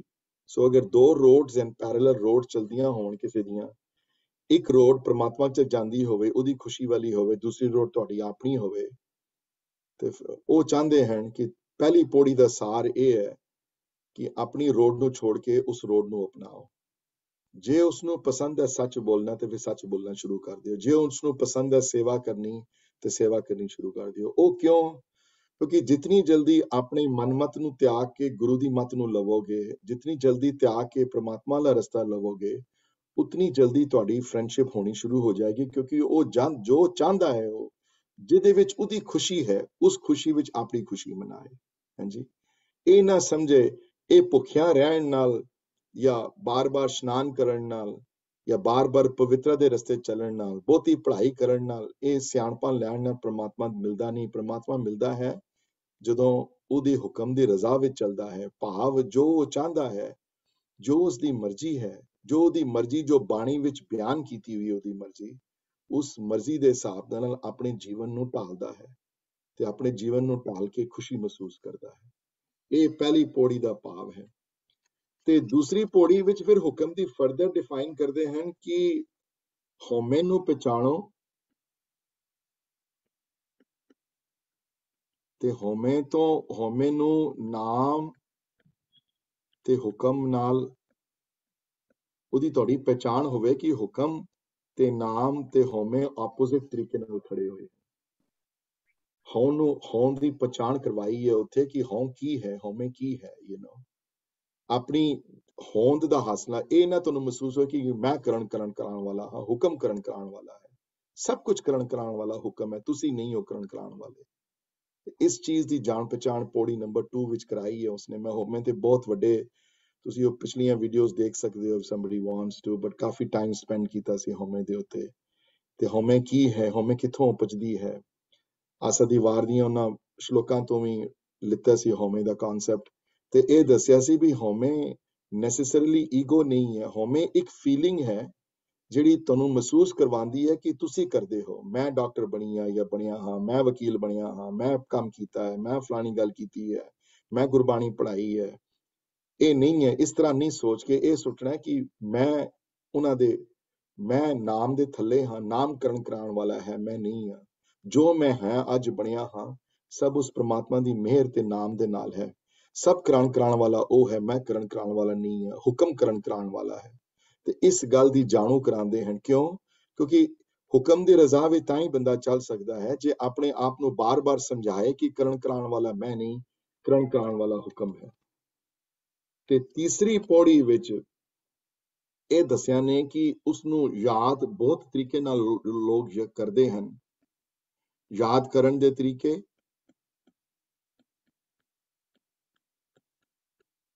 ਤੇ ਜਿਹੜਾ ਪ੍ਰਵਾਨ ਤਰੀਕਾ ਇਹ ਹੈ ਕਿ ਜਿਹੜਾ ਉਸ ਨੂੰ ਪ੍ਰੇਮ ਨਾਲ ਉਸ ਨੂੰ ਧਿਆਨਦਾ ਹੈ ਜਿਹੜਾ ਜਿਹੜਾ ਉਸ ਨੂੰ ਮੰਨਦਾ ਹੈ। ਜਿਹੜਾ ਗੁਰਦੁਆਰੇ ਇਸ ਵਾਸਤੇ ਨਹੀਂ ਜਾਂਦਾ ਕਿ ਕੋਈ ਉਹਦੀਆਂ ਮੰਗਾਂ ਹੋਣ most of us go with the list of demands, you know, your list of requests, you know, ਫਲਾਣਾ ਠੀਕ ਕਰ ਦਿਓ ਬਿਮਾਰ ਹੈ, ਜਾਂ ਇਹ ਕਰ ਦਿਓ, ਉਹਦਾ ਉਹ ਹੋ ਗਿਆ, ਉਹਨੂੰ ਠੀਕ ਕਰ ਦਿਓ ਜੌਬ ਨਹੀਂ ਮਿਲ ਰਹੀ ਉਹ ਠੀਕ ਕਰ ਦਿਓ, ਬੱਚਾ ਮੇਰੇ ਨੂੰ ਇਹ ਨਹੀਂ, ਉਹਨੂੰ ਐਡਮਿਸ਼ਨ ਮਿਲ ਜਾਏ ਉੱਥੇ, ਫਲਾਣਾ ਠੀਕ ਕਰ ਦਿਓ। ਤੇ ਇਹਦੇ ਦੱਸਿਆ ਨੇ ਵੀ ਮੋਸਟਲੀ ਜਿਹੜੇ ਬੰਦੇ ਯਾਦ ਕਰਦੇ ਹਨ ਉਸ ਨੂੰ ਉਹ ਆਪਣੀ ਕੋਈ ਮੰਗਾਂ ਲੈ ਕੇ ਯਾਦ ਕਰਦਾ, ਆਪਣੀ ਵਾਂਟਸ ਦੇ ਦੇ ਉੱਤੇ ਲੈ ਕੇ ਯਾਦ ਰੱਖਦਾ ਹੈ ਤੇ ਇਨਕਰੇਜ ਕਰਦੇ ਹਨ ਕਿ ਪ੍ਰੇਮ ਭਾਗਤਾ ਦੇ ਨਾਲ ਉਸ ਨੂੰ ਜਾਓ ਤੇ ਉਸ ਨੂੰ ਮਿਲਣ ਦੀ ਕੋਸ਼ਿਸ਼ ਕਰੋ ਤੇ ਨਾਲੇ ਇਹ ਵੀ ਦੱਸਿਆ ਨੇ ਇਸ ਪੌੜੀ ਵਿੱਚ ਕਿ ਉਹ ਆਪ ਬੇਪਰਵਾਹ ਹੈ। ਹਾਂਜੀ, ਉਹ ਆਪ ਕਿਸੇ ਮੰਗ ਵਿੱਚ ਨਹੀਂ ਹੈ। ਤੁਹਾਡੀਆਂ ਮੰਗਾਂ ਸਾਰੀਆਂ ਪੂਰੀਆਂ ਕਰਦਾ ਹੈ। ਤੁਸੀਂ ਜੋ ਮੰਗ ਕਰੋਗੇ, ਜੋ ਮੰਗੋਗੇ, ਉਹ ਦਵੇਗਾ ਤੁਹਾਨੂੰ। ਪਰ ਆਪ ਹੈ, ਆਪ ਕਿਸੇ ਮੰਗਾਂ ਦੀ, ਆਪ ਕਿਸੇ ਹੱਦ ਵਿੱਚ ਨਹੀਂ ਹੈ ਉਹ। ਹਾਂਜੀ। ਇਹ ਤੀਸਰੀ ਪੌੜੀ ਕਿਸ ਤਰ੍ਹਾਂ ਚੱਲ ਰਿਹਾ ਹੈ, ਦੇਖੋ ਸਿਲਸਿਲਾ ਇੱਥੇ। ਹਾਂਜੀ। ਹੁਕਮ ਦੀ ਰਜ਼ਾ ਵਿੱਚ ਚੱਲਣਾ ਹੈ। ਹੋਮੇ ਨੂੰ ਪਛਾਣਨਾ ਹੈ ਤੁਸੀਂ। ਕਰਨ ਕਰਾਉਣ ਵਾਲਾ ਉਹ ਹੈ, ਇਸ ਗੱਲ ਦੀ, ਇਸ ਗੱਲ ਦਾ ਯਕੀਨ ਕਰਾਉਣਾ ਹੈ। ਤੇ ਉਸ ਨਾਲ ਪ੍ਰੇਮਾ ਭਗਤੀ ਦੀ ਭਾਵਨਾ ਪੈਦਾ ਕਰਨੀ ਹੈ। ਉਸਨੇ ਕੋਲ, ਉਹਦੇ ਕੋਲ ਤਾਂ ਹੀ ਨਹੀਂ ਜਾਣਾ ਜਦੋਂ ਤੁਹਾਡੀ ਕੋਈ ਮੰਗਾਂ ਹੋਣ। ਉਹਦੇ ਕੋਲ ਉਹ ਉਸ ਨੂੰ ਉਸ ਨੂੰ ਯਾਦ ਤਾਂ ਹੀ ਨਹੀਂ ਕਰਨਾ ਜਦੋਂ ਤੁਹਾਡੇ ਮਨ 'ਚ ਕੋਈ ਆਵੇ ਕਿ ਮੈਨੂੰ ਇਹ ਚੀਜ਼ ਚਾਹੀਦੀ ਹੈ ਤਾਂ ਮੈਂ ਉਸ ਵਾਸਤੇ ਉਹਦੇ ਕੋਲ ਜਾਵਾਂ ਮੰਗਣ ਵਾਸਤੇ। ਉਹ ਵੀ ਕਰੋ, ਹੋਰ ਕਿਤੇ ਖੁਦ ਜਾਓਗੇ। ਲੇਕਿਨ ਉਹ ਹੀ ਖਾਲੀ ਖਾਲੀ ਜਪਜੀ ਦਾ ਗੋਲ ਇਹ ਨਹੀਂ ਹੈ ਕਿ ਕਿ ਕਿ ਖਾਲੀ ਮੰਗਾਂ ਦੇ ਆਧਾਰ ਦੇ ਉੱਤੇ ਉਸ ਨਾਲ ਰਿਲੇਸ਼ਨ ਦੇਖੋ, ਕਿਸੇ ਚੀਜ਼ ਨਾਲ ਅਗਰ ਦੋ, ਕਿਸੇ ਨਾਲ ਦੋਸਤੀ ਕਰਨੀ ਹੋਵੇ A ਔਰ B ਦੀ ਤੇ ਇਹ ਹਮੇਸ਼ਾ ਬੀ ਕੋਲ ਮੰਗਦਾ ਹੀ ਰਵੇ, ਮੰਗਦਾ ਹੀ ਰਵੇ, ਮੰਗਦਾ ਹੀ ਰਵੇ ਤੇ ਬੀ ਦਿੰਦਾ ਹੀ ਰਵੇ ਇੱਕ ਟਾਈਮ ਆਏਗਾ ਇਹ ਕਹੇਗਾ, ਯਾਰ ਇਹ ਇਨਫ ਇਜ਼ ਇਨਫ ਹੈ ਨਾ ਤੂੰ ਮੰਗ ਮੰਗ ਕੇ ਤੂੰ ਕੀ ਕਰ ਰਿਹਾ ਹੈ? ਇੱਥੇ ਉਹ ਗੱਲ ਨਹੀਂ ਹੈ, ਇੱਥੇ B ਹਮੇਸ਼ਾ ਪ੍ਰਮਾਤਮਾ ਨੇ ਦੇਣਾ ਹੀ ਦੇਣਾ ਹੈ। ਫਿਰ ਵੀ ਤੁਹਾਡੀ ਪ੍ਰਮਾਤਮਾ ਨਾਲ ਬਣਤਾ ਆਏਗੀ ਜਦੋਂ ਪ੍ਰੇਮਾ ਭਗਤੀ ਦੀ ਭਾਵਨਾ ਤੁਹਾਡੇ ਅੰਦਰ ਉਜਾਗਰ ਹੋਏਗੀ ਜਦੋਂ। ਤੇ ਇਹ ਤੀਸਰੀ ਪੌੜੀ ਦਾ ਭਾਵ ਹੈ ਤੇ ਚੌਥੀ ਪੌੜੀ ਦਾ ਭਾਵ ਹੈ ਕਿ ਇਸ ਵਾਸਤੇ ਉਹਦੇ ਅੱਗੇ ਨਾਲ ਉਹਦੇ ਨਾਲ ਕਿਸਾਂ ਪ੍ਰੇਮ ਕਰੀਏ? ਉਹਦੇ ਨਾਲ ਪ੍ਰੇਮ ਵਧਾਉਣ ਵਾਸਤੇ ਇੱਥੇ ਫਿਰ ਅੰਮ੍ਰਿਤ ਵੇਲਾ ਸੱਚ ਨਾਮ ਵਡਿਆਈ ਵਿਚਾਰ ਦਾ ਸੰਦੇਸ਼ ਦਿੱਤਾ ਨੇ ਕਿ ਉਹਨੂੰ ਤੂੰ ਕੁਝ ਦੇ ਨਹੀਂ ਸਕਦਾ ਕਿਉਂਕਿ ਤੂੰ ਲਿੱਤਾ ਹੀ ਹੈ ਉਹਦੇ ਕੋਲ। ਉਹਦੇ ਉਹਦੀ ਉਹਦੇ ਉਹਦੇ ਕੀਤੇ ਤੁਸੀਂ ਮਿਟਾ ਨਹੀਂ ਸਕਦੇ ਤੇ ਇਸ ਵਾਸਤੇ ਕਿਹੜੇ ਬੋਲ ਬੋਲੇ, ਕਿਹੜਾ ਬਲ- ਬੋ- ਬੰਦਾ ਕੁਝ ਕੀ ਕਵੇ? ਇਹ ਬੰਦੇ ਚੋਂ ਕਿਹੜੇ ਕਰਮ ਨਿਕਲਣ ਜਿਹਦੇ ਨਾਲ ਤੁਹਾਡੀ ਤੁਸੀਂ ਨੋਟਿਸ ਹੋ ਜਾਵੋ ਉਹਨਾਂ ਦੀ ਨਜ਼ਰਾਂ ਉਹ ਤੁਹਾਡੇ ਨਾਲ ਪ੍ਰੇਮ ਕਰਨਾ ਸ਼ੁਰੂ ਕਰ ਦੇਵੇ ਉਹ ਤੁਹਾਡੇ ਨਾਲ ਰਿਲੇਸ਼ਨ ਤੁਹਾਡੀ ਬਣਾ ਹੋਵੇ। ਤੇ ਇੱਥੇ ਫਿਰ ਪ੍ਰੇਮਾ ਭਗਤੀ ਦਾ ਉਪਦੇਸ਼ ਦੇ ਕੇ ਸੀਰੀਅਸ ਹੋ ਜਾਂਦੀ ਜਾ ਪ੍ਰੇਮਾ ਭਗਤੀ ਦਾ ਉਪਦੇਸ਼ ਦੇ ਕੇ ਤੇ ਉੱਥੇ ਫਿਰ ਇਹ ਉੱਤੇ ਉਹਨਾਂ ਨੂੰ ਦੱਸ ਕੇ ਅੱਗੇ ਇਹ ਕਿ ਉਹ ਖੁਸ਼ ਤਾਂ ਹੀ ਹੋਏਗਾ ਜਦੋਂ ਤੁਸੀਂ ਉਹਦੇ ਹਿਸਾਬ ਦੇ ਨਾਲ ਆਪਣੀ ਜੀਵਨ ਬਿਤਾਓਗੇ। ਤੇ ਵਡਿਆਈ ਵਿਚਾਰ ਸ਼ੁਰੂ ਕਰੋਗੇ ਤੇ ਵਡਿਆਈ ਵਿਚਾਰ ਵੀ ਮੈਂ ਦੱਸਿਆ ਸੀ ਕੀ ਹੈ ਉਹ ਗੁਣ ਗਾਇਨ ਹੈ ਤੇ ਗੁਣ ਗਾਇਨ ਸਭ ਤੋਂ ਜ਼ਿਆਦਾ ਕਿਤੇ ਹੋਇਆ ਹੈ? ਉਹ ਗੁਰਬਾਣੀ ਚ ਹੋਇਆ ਹੈ। ਸੋ ਗੁਰਬਾਣੀ ਨਾਲ ਪ੍ਰੇਮ, ਗੁਰਬਾਣੀ ਦੀ ਵਿਆਖਿਆ, ਗੁਰਬਾਣੀ ਦਾ ਕੀਰਤਨ, ਇਹ ਸਾਰੀਆਂ ਚੀਜ਼ਾਂ ਹੈਲਪ ਕਰਦੀਆਂ ਹਨ, ਜਿਹੜੀਆਂ ਪਹਿਲੀਆਂ ਚਾਰ ਪੌੜੀਆਂ ਦੱਸ ਦਿੱਤੀਆਂ ਨੇ। ਤੇ ਪੰਜਵੀਂ ਪੌੜੀ ਦਾ ਜਿਹੜਾ ਮੇਨ ਭਾਵ ਇਹ ਹੈ ਕਿ ਇਹ ਸਾਰੀਆਂ ਚੀਜ਼ਾਂ ਉੱਪਰਲੀਆਂ ਗੁਰੂ ਦੇ ਉਪਦੇਸ਼ ਦੇ ਵਿੱਚ ਜੀਣ ਨਾਲ ਮਿਲਦੀਆਂ ਹਨ। ਗੁਰੂ ਹੀ ਕਰਨ ਕਰਾਉਣ ਵਾਲਾ ਹੈ, ਗੁਰੂ ਜੋੜਨ ਵਾਲਾ ਹੈ। ਗੁਰੂ ਕਣੀ ਹੈ ਜੋੜਨ ਦੀ, ਗੁਰੂ ਗੁਰੂ ਵਿੱਚ ਸ਼ਕਤੀ ਹੈ ਜੋੜਨ ਦੀ। ਤੇ ਜਿਹੜਾ ਕੋਈ ਬੰਦਾ ਹੁਕਮ ਦੀ ਰਜ਼ਾ ਵਿੱਚ ਚੱਲੇਗਾ, ਆਪਣੇ ਆਪ ਨੂੰ ਇਹ ਮਹਿਸੂਸ ਕਰਵਾਏਗਾ ਕਿ ਨਾਮ ਹੀ ਕਰਨ ਕਰਾਉਣ ਵਾਲਾ ਹੈ, ਮੈਂ ਨਹੀਂ ਹਾਂ ਕਰਨ ਕਰਾਉਣ ਵਾਲਾ। ਹਾਂਜੀ, ਹਮੇਸ਼ਾ ਇਸ ਗੱਲ ਨੂੰ ਯਾਦ ਰੱਖੇਗਾ। ਤੇ ਉਹ ਯਾਦ ਜਿਹੜੀ ਹੈ, ਉਹਦੀ ਪ੍ਰੇਮਾ ਭਗਤੀ ਵਾਲੀ ਯਾਦ ਹੋਵੇ, ਖਾਲੀ ਯਾਦ ਵੰਡਾਂ, ਯਾਦ ਜਿਹੜੀ ਹੈ ਉਹ ਕਿਸੇ ਮੰਗ ਦੇ ਆਧਾਰਿਤ ਤੇ ਯਾਦ ਨਾ ਹੋਵੇ, ਹੈ ਜੀ। ਹਮੇਸ਼ਾ ਮੰਗਦਾ ਹੀ ਨਾ ਰਵੇ ਖਾਲੀ ਜੇ ਮੰਗ ਦੇ ਆਧਾਰਿਤ ਤੇ ਯਾਦ ਰਹੇਗੀ ਤੇ ਪ੍ਰੇਮ ਨਹੀਂ ਹੋ ਸਕੇਗਾ ਉਹਦੇ ਨਾਲ। ਉਹ ਪ੍ਰੇਮ ਪ੍ਰਮਾਤਮਾ ਨਾਲ ਕਰੇ, ਆਪਣੀ ਮੰਗਾਂ ਨੂੰ ਅਲੱਗ ਰੱਖ ਕੇ, ਕਿਉਂਕਿ ਉਹ ਬੇਪਰਵਾਹ ਹੈ, ਉਸਨੇ ਦੇਣਾ ਹੀ ਦੇਣਾ ਹੈ ਹਮੇਸ਼ਾ। ਤੁਸੀਂ ਕਰਨਾ ਹੈ ਉਹਦੇ ਨਾਲ, ਤੁਸੀਂ ਰਿਲੇਸ਼ਨਸ਼ਿਪ ਬਣਾਣੀ ਹੈ ਪ੍ਰਮਾਤਮਾ ਨਾਲ। ਤੇ ਇਹ ਪ੍ਰੇਮ ਦਾ ਜਿਹੜਾ ਹੈ ਸਿਲਸਿਲਾ, ਇਹ ਵਡਿਆਈ ਵਿਚਾਰ ਤੋਂ ਹੋਵੇਗਾ, ਇਹ ਗੁਣ ਗਾਇਨ ਤੋਂ ਸ਼ੁਰੂ ਹੁੰਦਾ ਹੈ ਸਾਰਾ। ਇੱਥੇ ਫਿਰ ਕਿਹੜੇ ਬੋਲ ਬੋਲੇ, ਕਿ, ਕੀ ਮੈਂ ਕੀ ਕਰਾਂ ਯੂ نو ਫਿਰ ਕੇ ਅੱਗੇ ਰੱਖੀਏ ਜਿੱਦ ਦਿਸੇ ਦਰਬਾਰ ਵਾਲੀ ਹਾਲਤ ਕਿਸ ਤਰ੍ਹਾਂ ਬਣੀ ਉਹਦੀ? ਫਿਰ ਮੈਂ ਕੀ ਕਰਾਂ? ਫਿਰ ਮੈਂ ਉਹਦੇ ਨਾਲ ਪ੍ਰੇਮ ਕਿੰਜ ਵਧਾਵਾਂ ਆਪਣਾ? ਉਥੇ ਰਸਤਾ ਦੱਸਿਆ ਨੇ ਕਿ ਗੁਣ ਗਾਇਨ ਦਾ ਰਸਤਾ ਦੱਸਿਆ ਨੇ, ਉਹਦੀ ਸਿਫਤ ਸਲਾਹ ਦਾ ਰਸਤਾ ਦੱਸਿਆ ਨੇ। ਤੇ ਇਹ ਹੁਣ ਪੰਜਵੀਂ ਪੌੜੀ ਦਾ ਉਪਦੇਸ਼ ਹੈ ਕਿ ਇਹ ਉਪਦੇਸ਼ ਜਿਹੜਾ ਪ੍ਰੇਮ ਵਾਲਾ ਜਿਹੜਾ ਹੈ, ਇਹ ਗੁਰੂ ਪੂਰੇ ਕਰਦੇ ਹਨ। ਗੁਰਬਾਣੀ ਦੇ ਰਾਹੀਂ, ਇਹ ਜਿਹੜੀਆਂ ਗੁਰਬਾਣੀ ਦੇ ਰਾਹੀਂ, ਇਹ ਸਾਰੀਆਂ ਉੱਪਰਲੀਆਂ ਗੱਲਾਂ ਜਿਹੜੀਆਂ ਹਨ, ਇਹ ਪੋਸੀਬਲ ਹੋ ਸਕਦੀਆਂ ਹਨ ਸਾਰੀਆਂ, ਹਾਂਜੀ। ਇਹ ਪੰਜ ਪੁੜੀਆਂ ਦਾ ਭਾਵ ਹੈ ਤੇ ਇਹ ਗੁਰੂ ਦੇ ਉਪਦੇਸ਼ ਜਿਹੜਾ ਹੈ ਗੁਰਮੁਖ ਨਾਦਨ ਗੁਰਮੁਖ ਵੇਦਨ ਵਿੱਚ ਉਹਨਾਂ ਨੇ ਬੜੀ ਸੋਹਣੀ ਤਰ੍ਹਾਂ ਸਮਝਾਇਆ ਹੈ। ਲਾਸਟ ਟਾਈਮ ਵੀ ਔਰ ਇੱਕ ਅਰਦਾਸ ਵੀ ਸਿਖਾਈ ਨੇ ਗੁਰੂ ਦੇ ਉਪਦੇਸ਼ ਵਿੱਚ ਕਿ ਉਹ ਅਰਦਾਸ ਇਹ ਹੈ ਕਿ ਤੁਸੀਂ ਮੇਰੇ ਤੋਂ ਅਲੱਗ ਨਾ ਹੋਵੋ, ਮੈਂ ਤੁਹਾਨੂੰ ਵਿਸਰਾਂ ਨਾ ਨਾ ਵਿਸਰਨ ਦੀ ਦਾਤ ਗੁਰਾਇਕ ਦੇ ਬੁਝਾਈ। ਸਭਨਾ ਜੀਆਂ ਕਾ ਇੱਕ ਦਾਤਾ। ਇੱਕ ਇਹ ਗੁਰਾ, ਇੱਕ ਦੇ ਬੁਝਾਈ, ਮਤਲਬ ਹੈ ਮੇਰੇ ਦਾਤਾ ਗੁਰੂ, ਮੇਰੀ ਇੱਕ ਅਰਦਾਸ ਸੁਣ ਲਵੋ, ਮੇਰੀ ਇੱਕ ਗੱਲ ਮੰਨ ਲਵੋ। ਨਾਨਕ ਨੂੰ ਨਾ ਵਿਸਰਨ ਦੀ ਦਾਤ ਦੇ ਦਿਓ, ਨਾਨਕ ਨੂੰ ਇਹ ਇਹ ਦਾਤ ਦਿਓ ਸਾਨੂੰ ਕਿ ਉਹ ਪ੍ਰਮਾਤਮਾ ਮੇਰੇ ਹਰ ਸਵਾਸ ਸਵਾਸ ਵਿੱਚ ਮੈਨੂੰ ਯਾਦ ਆਵੇ ਤੇ ਮੇਰੀ ਬਣ ਆਵੇ ਉਸ ਨਾਲ। ਮੇਰੀ ਪ੍ਰਮਾਤਮਾ ਨਾਲ ਬਣ ਆਵੇ, ਮੇਰੀ ਪ੍ਰਮਾਤਮਾ ਨਾਲ ਦੋਸਤੀ ਹੋ ਜਾਵੇ, ਮੇਰੀ ਪ੍ਰਮਾਤਮਾ ਨਾਲ ਪ੍ਰੇਮ ਵੱਧ ਆਏ ਮੇਰਾ। ਇਹ ਪੰਜ ਪੌੜੀਆਂ ਦਾ ਭਾਵ ਜਿਹੜਾ ਹੈ ਜਪਜੀ ਦਾ ਇਹ ਹੈ ਸੋ ਅਗਰ ਓਵਰਆਲ ਨਿਚੋੜ ਪੰਜ ਪੌੜੀਆਂ ਦਾ ਇਹ ਹੈ ਕਿ ਜੀਵਨ ਵਿਅਰਥ ਹੈ I'm going to I'm going to um, clear um, the drawing. I, I hope everybody got what they wanted though, and then I'm going to stop sharing my screen now. So, ਜੀਵਨ ਜਿਹੜਾ ਹੈ ਉਹ ਇਸ ਗੁਰਮਤ ਵਿੱਚ ਇਸ ਜੀਵਨ ਦੀ ਕੋਈ value ਨਹੀਂ ਹੈ ਕੋਈ ਜਿਸ ਜੀਵਨ ਦੇ ਅਗਰ ਜਿਸ ਜੀਵਨ ਦੇ ਉੱਤੇ ਪ੍ਰਮਾਤਮਾ ਦਾ ਪਿਆਰ ਨਹੀਂ ਹੈ, ਜਿਹਦੇ ਵਿੱਚ ਉਹ ਜੀਵਨ ਸਖਣਾ ਜਿਹੜੇ ਜੀਵਨ ਜਿਹੜੇ ਹਨ ਜਿਹੜੇ ਉਸ ਤੋਂ ਅਲੱਗ ਰਹਿੰਦੇ ਹਨ ਜਿਹੜੇ, ਉਹ ਫਿਰ ਉਹ ਉਹ ਉਹ ਸਕਸੈਸਫੁਲ ਲਾਈਫ ਨਹੀਂ ਹੈ ਉਹ ਵਾਲੀਆਂ। ਉਹਨਾਂ ਨੇ, ਉਨ- ਉਹਨਾਂ ਨੇ ਕੁਝ ਖਟਿਆ ਕਮਾਇਆ ਨਹੀਂ ਇੱਥੇ। ਆਤਮਿਕ ਤੌਰ ਤੇ ਮਰੇ ਹੋਏ ਹਨ ਉਹ ਲੋਕ ਸਾਰੇ, ਜਿਹੜੇ ਜਿਹੜੇ ਪ੍ਰਮਾਤਮਾ ਨਾਲ ਪਿਆਰ ਤੇ ਪ੍ਰਮਾਤਮਾ ਰਿਲੇਸ਼ਨਸ਼ਿਪ ਬਣਾ ਨਹੀਂ ਸਕਦੇ, ਜਿਹੜੇ ਆਪਣੇ।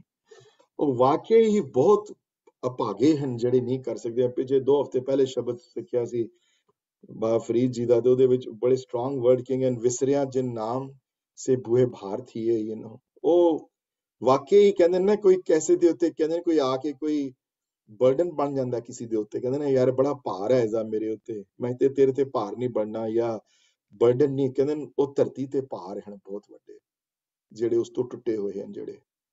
ਜਿਹਦੇ ਜਿਹਦੇ ਮਨ ਵਿੱਚ ਉਹਦਾ ਪਿਆਰ ਨਹੀਂ ਹੈ, ਜਿਹਦੇ ਮਨ ਵਿੱਚ ਪ੍ਰੇਮਾ ਭਗਤੀ ਨਹੀਂ ਹੈ, ਜਿਹੜਾ ਇੱਥੇ ਆ ਕੇ ਉਸ ਨੂੰ ਧਿਆਨਦੇ ਨਹੀਂ ਹਨ ਉਸ ਨੂੰ ਸਭ ਵਿੱਚ ਦੇਖਦੇ ਨਹੀਂ ਹਨ, ਸੇਵਾ ਤੇ ਸਿਮਰਨ ਵਾਲਾ ਰਸਤਾ ਅਪਣਾਉਂਦੇ ਨਹੀਂ ਹਨ ਜਿਹੜੇ, ਉਹ ਵਾਕਈ ਇਸ ਧਰਤੀ ਦੇ ਉੱਤੇ ਬਹੁਤ ਵੱਡੇ ਪਾਰ ਹਨ ਤੇ ਜੀਵਨ ਅਸਫਲ ਹੈ ਉਹਨਾਂ ਦਾ।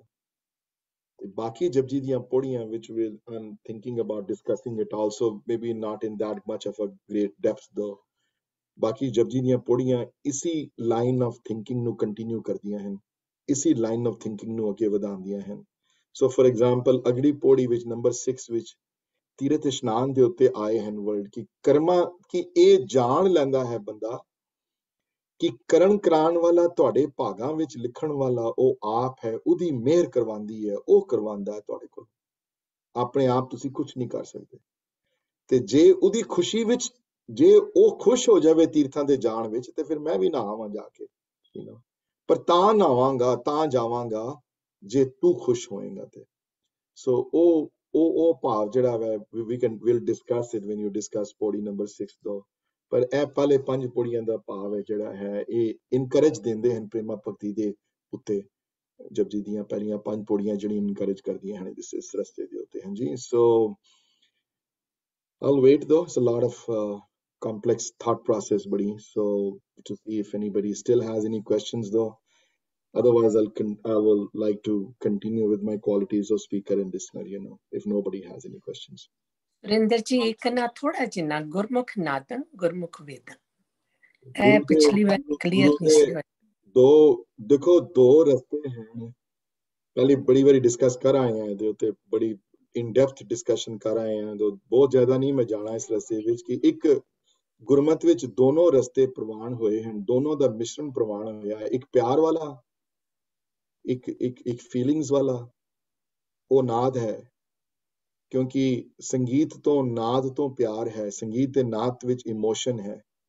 ਇੱਕ ਇਮੋਸ਼ਨਲ ਵਾਲਾ, ਪਿਆਰ ਵਾਲਾ, ਨਾਦ ਵਾਲਾ ਰਸਤਾ ਹੈ। ਔਰ ਇੱਕ ਗਿਆਨ ਵਾਲਾ ਰਸਤਾ ਹੈ। ਨੌਲੇਜ ਵੀ ਬੜੀ ਇੰਪੋਰਟੈਂਟ ਹੈ, ਜਿਹੜੀ ਪ੍ਰਮਾਤਮਾ ਦੀ ਹੈ ਜਿਹੜੀ। ਹੁਕਮ ਕੀ ਹੈ, ਨਾਮ ਕੀ ਹੈ, ਸਤ ਕੀ ਹੈ।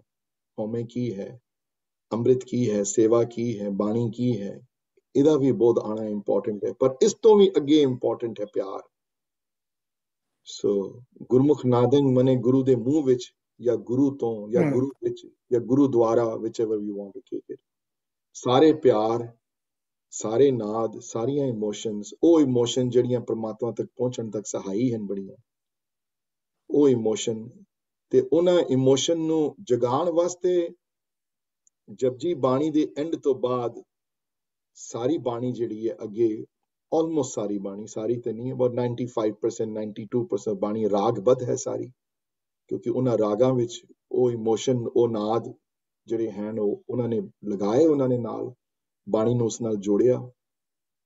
ਤੇ ਇੱਥੇ ਇਹ ਦੱਸਿਆ ਨੇ ਕਿ ਗੁਰੂ ਦੁਆਰਾ ਹੀ, ਇਹ ਪਿਆਰ ਵੀ ਉੱਥੋਂ ਹੀ ਮਿਲਦਾ ਹੈ, ਇਹ ਨਾਦ ਵੀ ਉੱਥੋਂ ਹੀ ਆਉਂਦੇ ਹਨ। ਗੁਰੂ ਦੇ ਮੂੰਹ ਵਿੱਚ ਹਨ ਗੁਰੂ ਦੁਆਰਾ ਮਿਲਦੇ ਹਨ, ਗੁਰੂ ਗੁਰੂ ਤੋਂ ਉਤਪਤੀ ਹੁੰਦੀ ਹੈ ਉਹਨਾਂ ਦੀ। ਹਾਂਜੀ ਤੇ ਵੇਦਨ ਇੱਥੇ, ਵੇਦ ਦਾ ਵਰਡ ਇੱਥੇ ਇੱਥੇ, ਉਹ ਚਾਰ ਵੇਦ ਨਹੀਂ ਹਨ, ਇੱਥੇ ਵੇਦਨ ਦਾ ਵਰਡ, ਇੱਥੇ ਗਿਆਨ ਤੋਂ ਆਇਆ ਹੈ। ਤੇ ਵੇਦਾਂ ਦਾ ਗਿਆਨ ਜਾਂ ਕਿਸੇ ਵੀ ਪ੍ਰਮਾਤਮਾ ਦਾ ਗਿਆਨ ਜਿਹੜਾ ਹੈ ਉਹ ਵੀ ਗੁਰੂ ਸੋ ਇਹ ਰਸਤਾ ਜਿਹੜਾ ਹੈ ਇਹ ਪ੍ਰੇਮਾ ਭਗਤੀ ਵਾਲਾ ਰਸਤਾ, ਪ੍ਰੇਮ ਮਾਰਗ ਜਿਹੜਾ ਹੈ, ਇਹ ਦੋਨਾਂ ਦਾ ਰਸਤਾ ਹੈ। ਇਹ ਇਹ ਇਹ ਰਸਤਾ ਪਿਆਰ ਵਾਲਾ ਵੀ ਹੈ ਤੇ ਗਿਆਨ ਵਾਲਾ ਵੀ ਹੈ। ਪਰ ਇਹਨਾਂ ਦੋਨਾਂ ਵਿੱਚੋਂ ਅਗਰ ਕੋਈ ਬੰਦਾ ਚੂਜ਼ ਕਰੇ ਵੀ ਇੱਕ ਚੂਜ਼ ਚੂਜ਼ ਕਰਨੀ ਹੈ ਤਾਂ ਪਿਆਰ ਵਾਲੇ ਤੇ ਲੰਘ ਗਏ ਅੱਗੇ। ਕਬੀਰ ਤੇ ਪਹੁੰਚ ਗਏ ਉੱਥੇ। ਨਾਮਦੇਵ ਪਹੁੰਚ ਗਏ। You ਫਰੀਦ ਪਹੁੰਚ ਗਏ ਉੱਥੇ।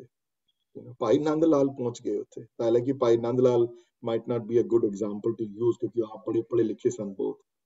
ਇਹੋ ਜਿਹੇ ਤੇ ਪਹੁੰਚ ਗਏ, ਜਿਹਨੇ ਕਿਹੜੇ ਸਕੂਲ ਨਹੀਂ ਗਏ ਜਿਹੜੇ। ਪਰ ਕਈ ਜਿਹੜੇ ਬਹੁਤੇ ਪੜ੍ਹੇ ਲਿਖੇ ਨੇ, ਉਹ ਬਹੁਤੇ ਪੜ੍ਹੇ ਲਿਖਣ ਨਾਲ ਆਈ ਆਈ ਆਈ ਡੋਨਟ ਥਿੰਕ ਸੋ ਕਿ ਖਾਲੀ ਪੜ੍ਹਿਆ ਲਿਖਿਆ ਬੰਦਾ ਹੋਵੇ। ਸਿਰਫ ਪਿਆਰ ਹੋਵੇ ਤੁਹਾਡੇ ਅੰਦਰ ਤੇ ਫਿਰ ਵੀ ਤੁਸੀਂ ਪਹੁੰਚਣ ਦੀ ਤੁਹਾਡੀ ਪ੍ਰੋਬੇਬਿਲਿਟੀ ਬੜੀ ਹਾਈ ਹੈ। ਪਰ ਸਵਾਏ ਸਿਰਫ ਨੌਲੇਜ ਹੋਵੇ ਤੇ ਅੰਦਰ ਕੋਈ ਫੀਲਿੰਗ ਨਾ ਹੋਵੇ ਅੰਦਰ। ਇਸ ਵਾਸਤੇ ਕੀਰਤਨ ਨੂੰ ਨਾਦ ਰੂਪ ਵਿੱਚ ਐਕਸੈਪਟ ਕੀਤਾ ਅਸੀਂ। ਤੇ ਉੱਥੇ ਫਿਰ ਸੋਹਣੇ ਇਮੋਸ਼ਨ ਬਣਾਏ ਹਨ ਜਿਹੜੇ ਬਿਲਾਵਲ, ਕਲਿਆਣ ਮਾਲੀ ਕੋੜਾ ਸ਼੍ਰੀ ਮਾਜ ਇਹਨਾਂ ਇਹਨਾਂ ਰਾਗਾਂ ਦੇ ਉੱਤੇ, ਇਹਨਾਂ ਇਹਨਾਂ ਇਹਨਾਂ ਵੱਡੇ, ਇਹ ਜਿਹੜੇ ਸੁਰਾਂ ਦੇ ਨਾਦ ਜਿਹੜੇ ਬਣਾਏ ਹਨ ਉਹਨਾਂ ਨੇ। ਔਰ ਅੱਜ ਕੱਲ ਬੜੀ ਕੰਟਰੋਵਰਸੀ ਹੈ।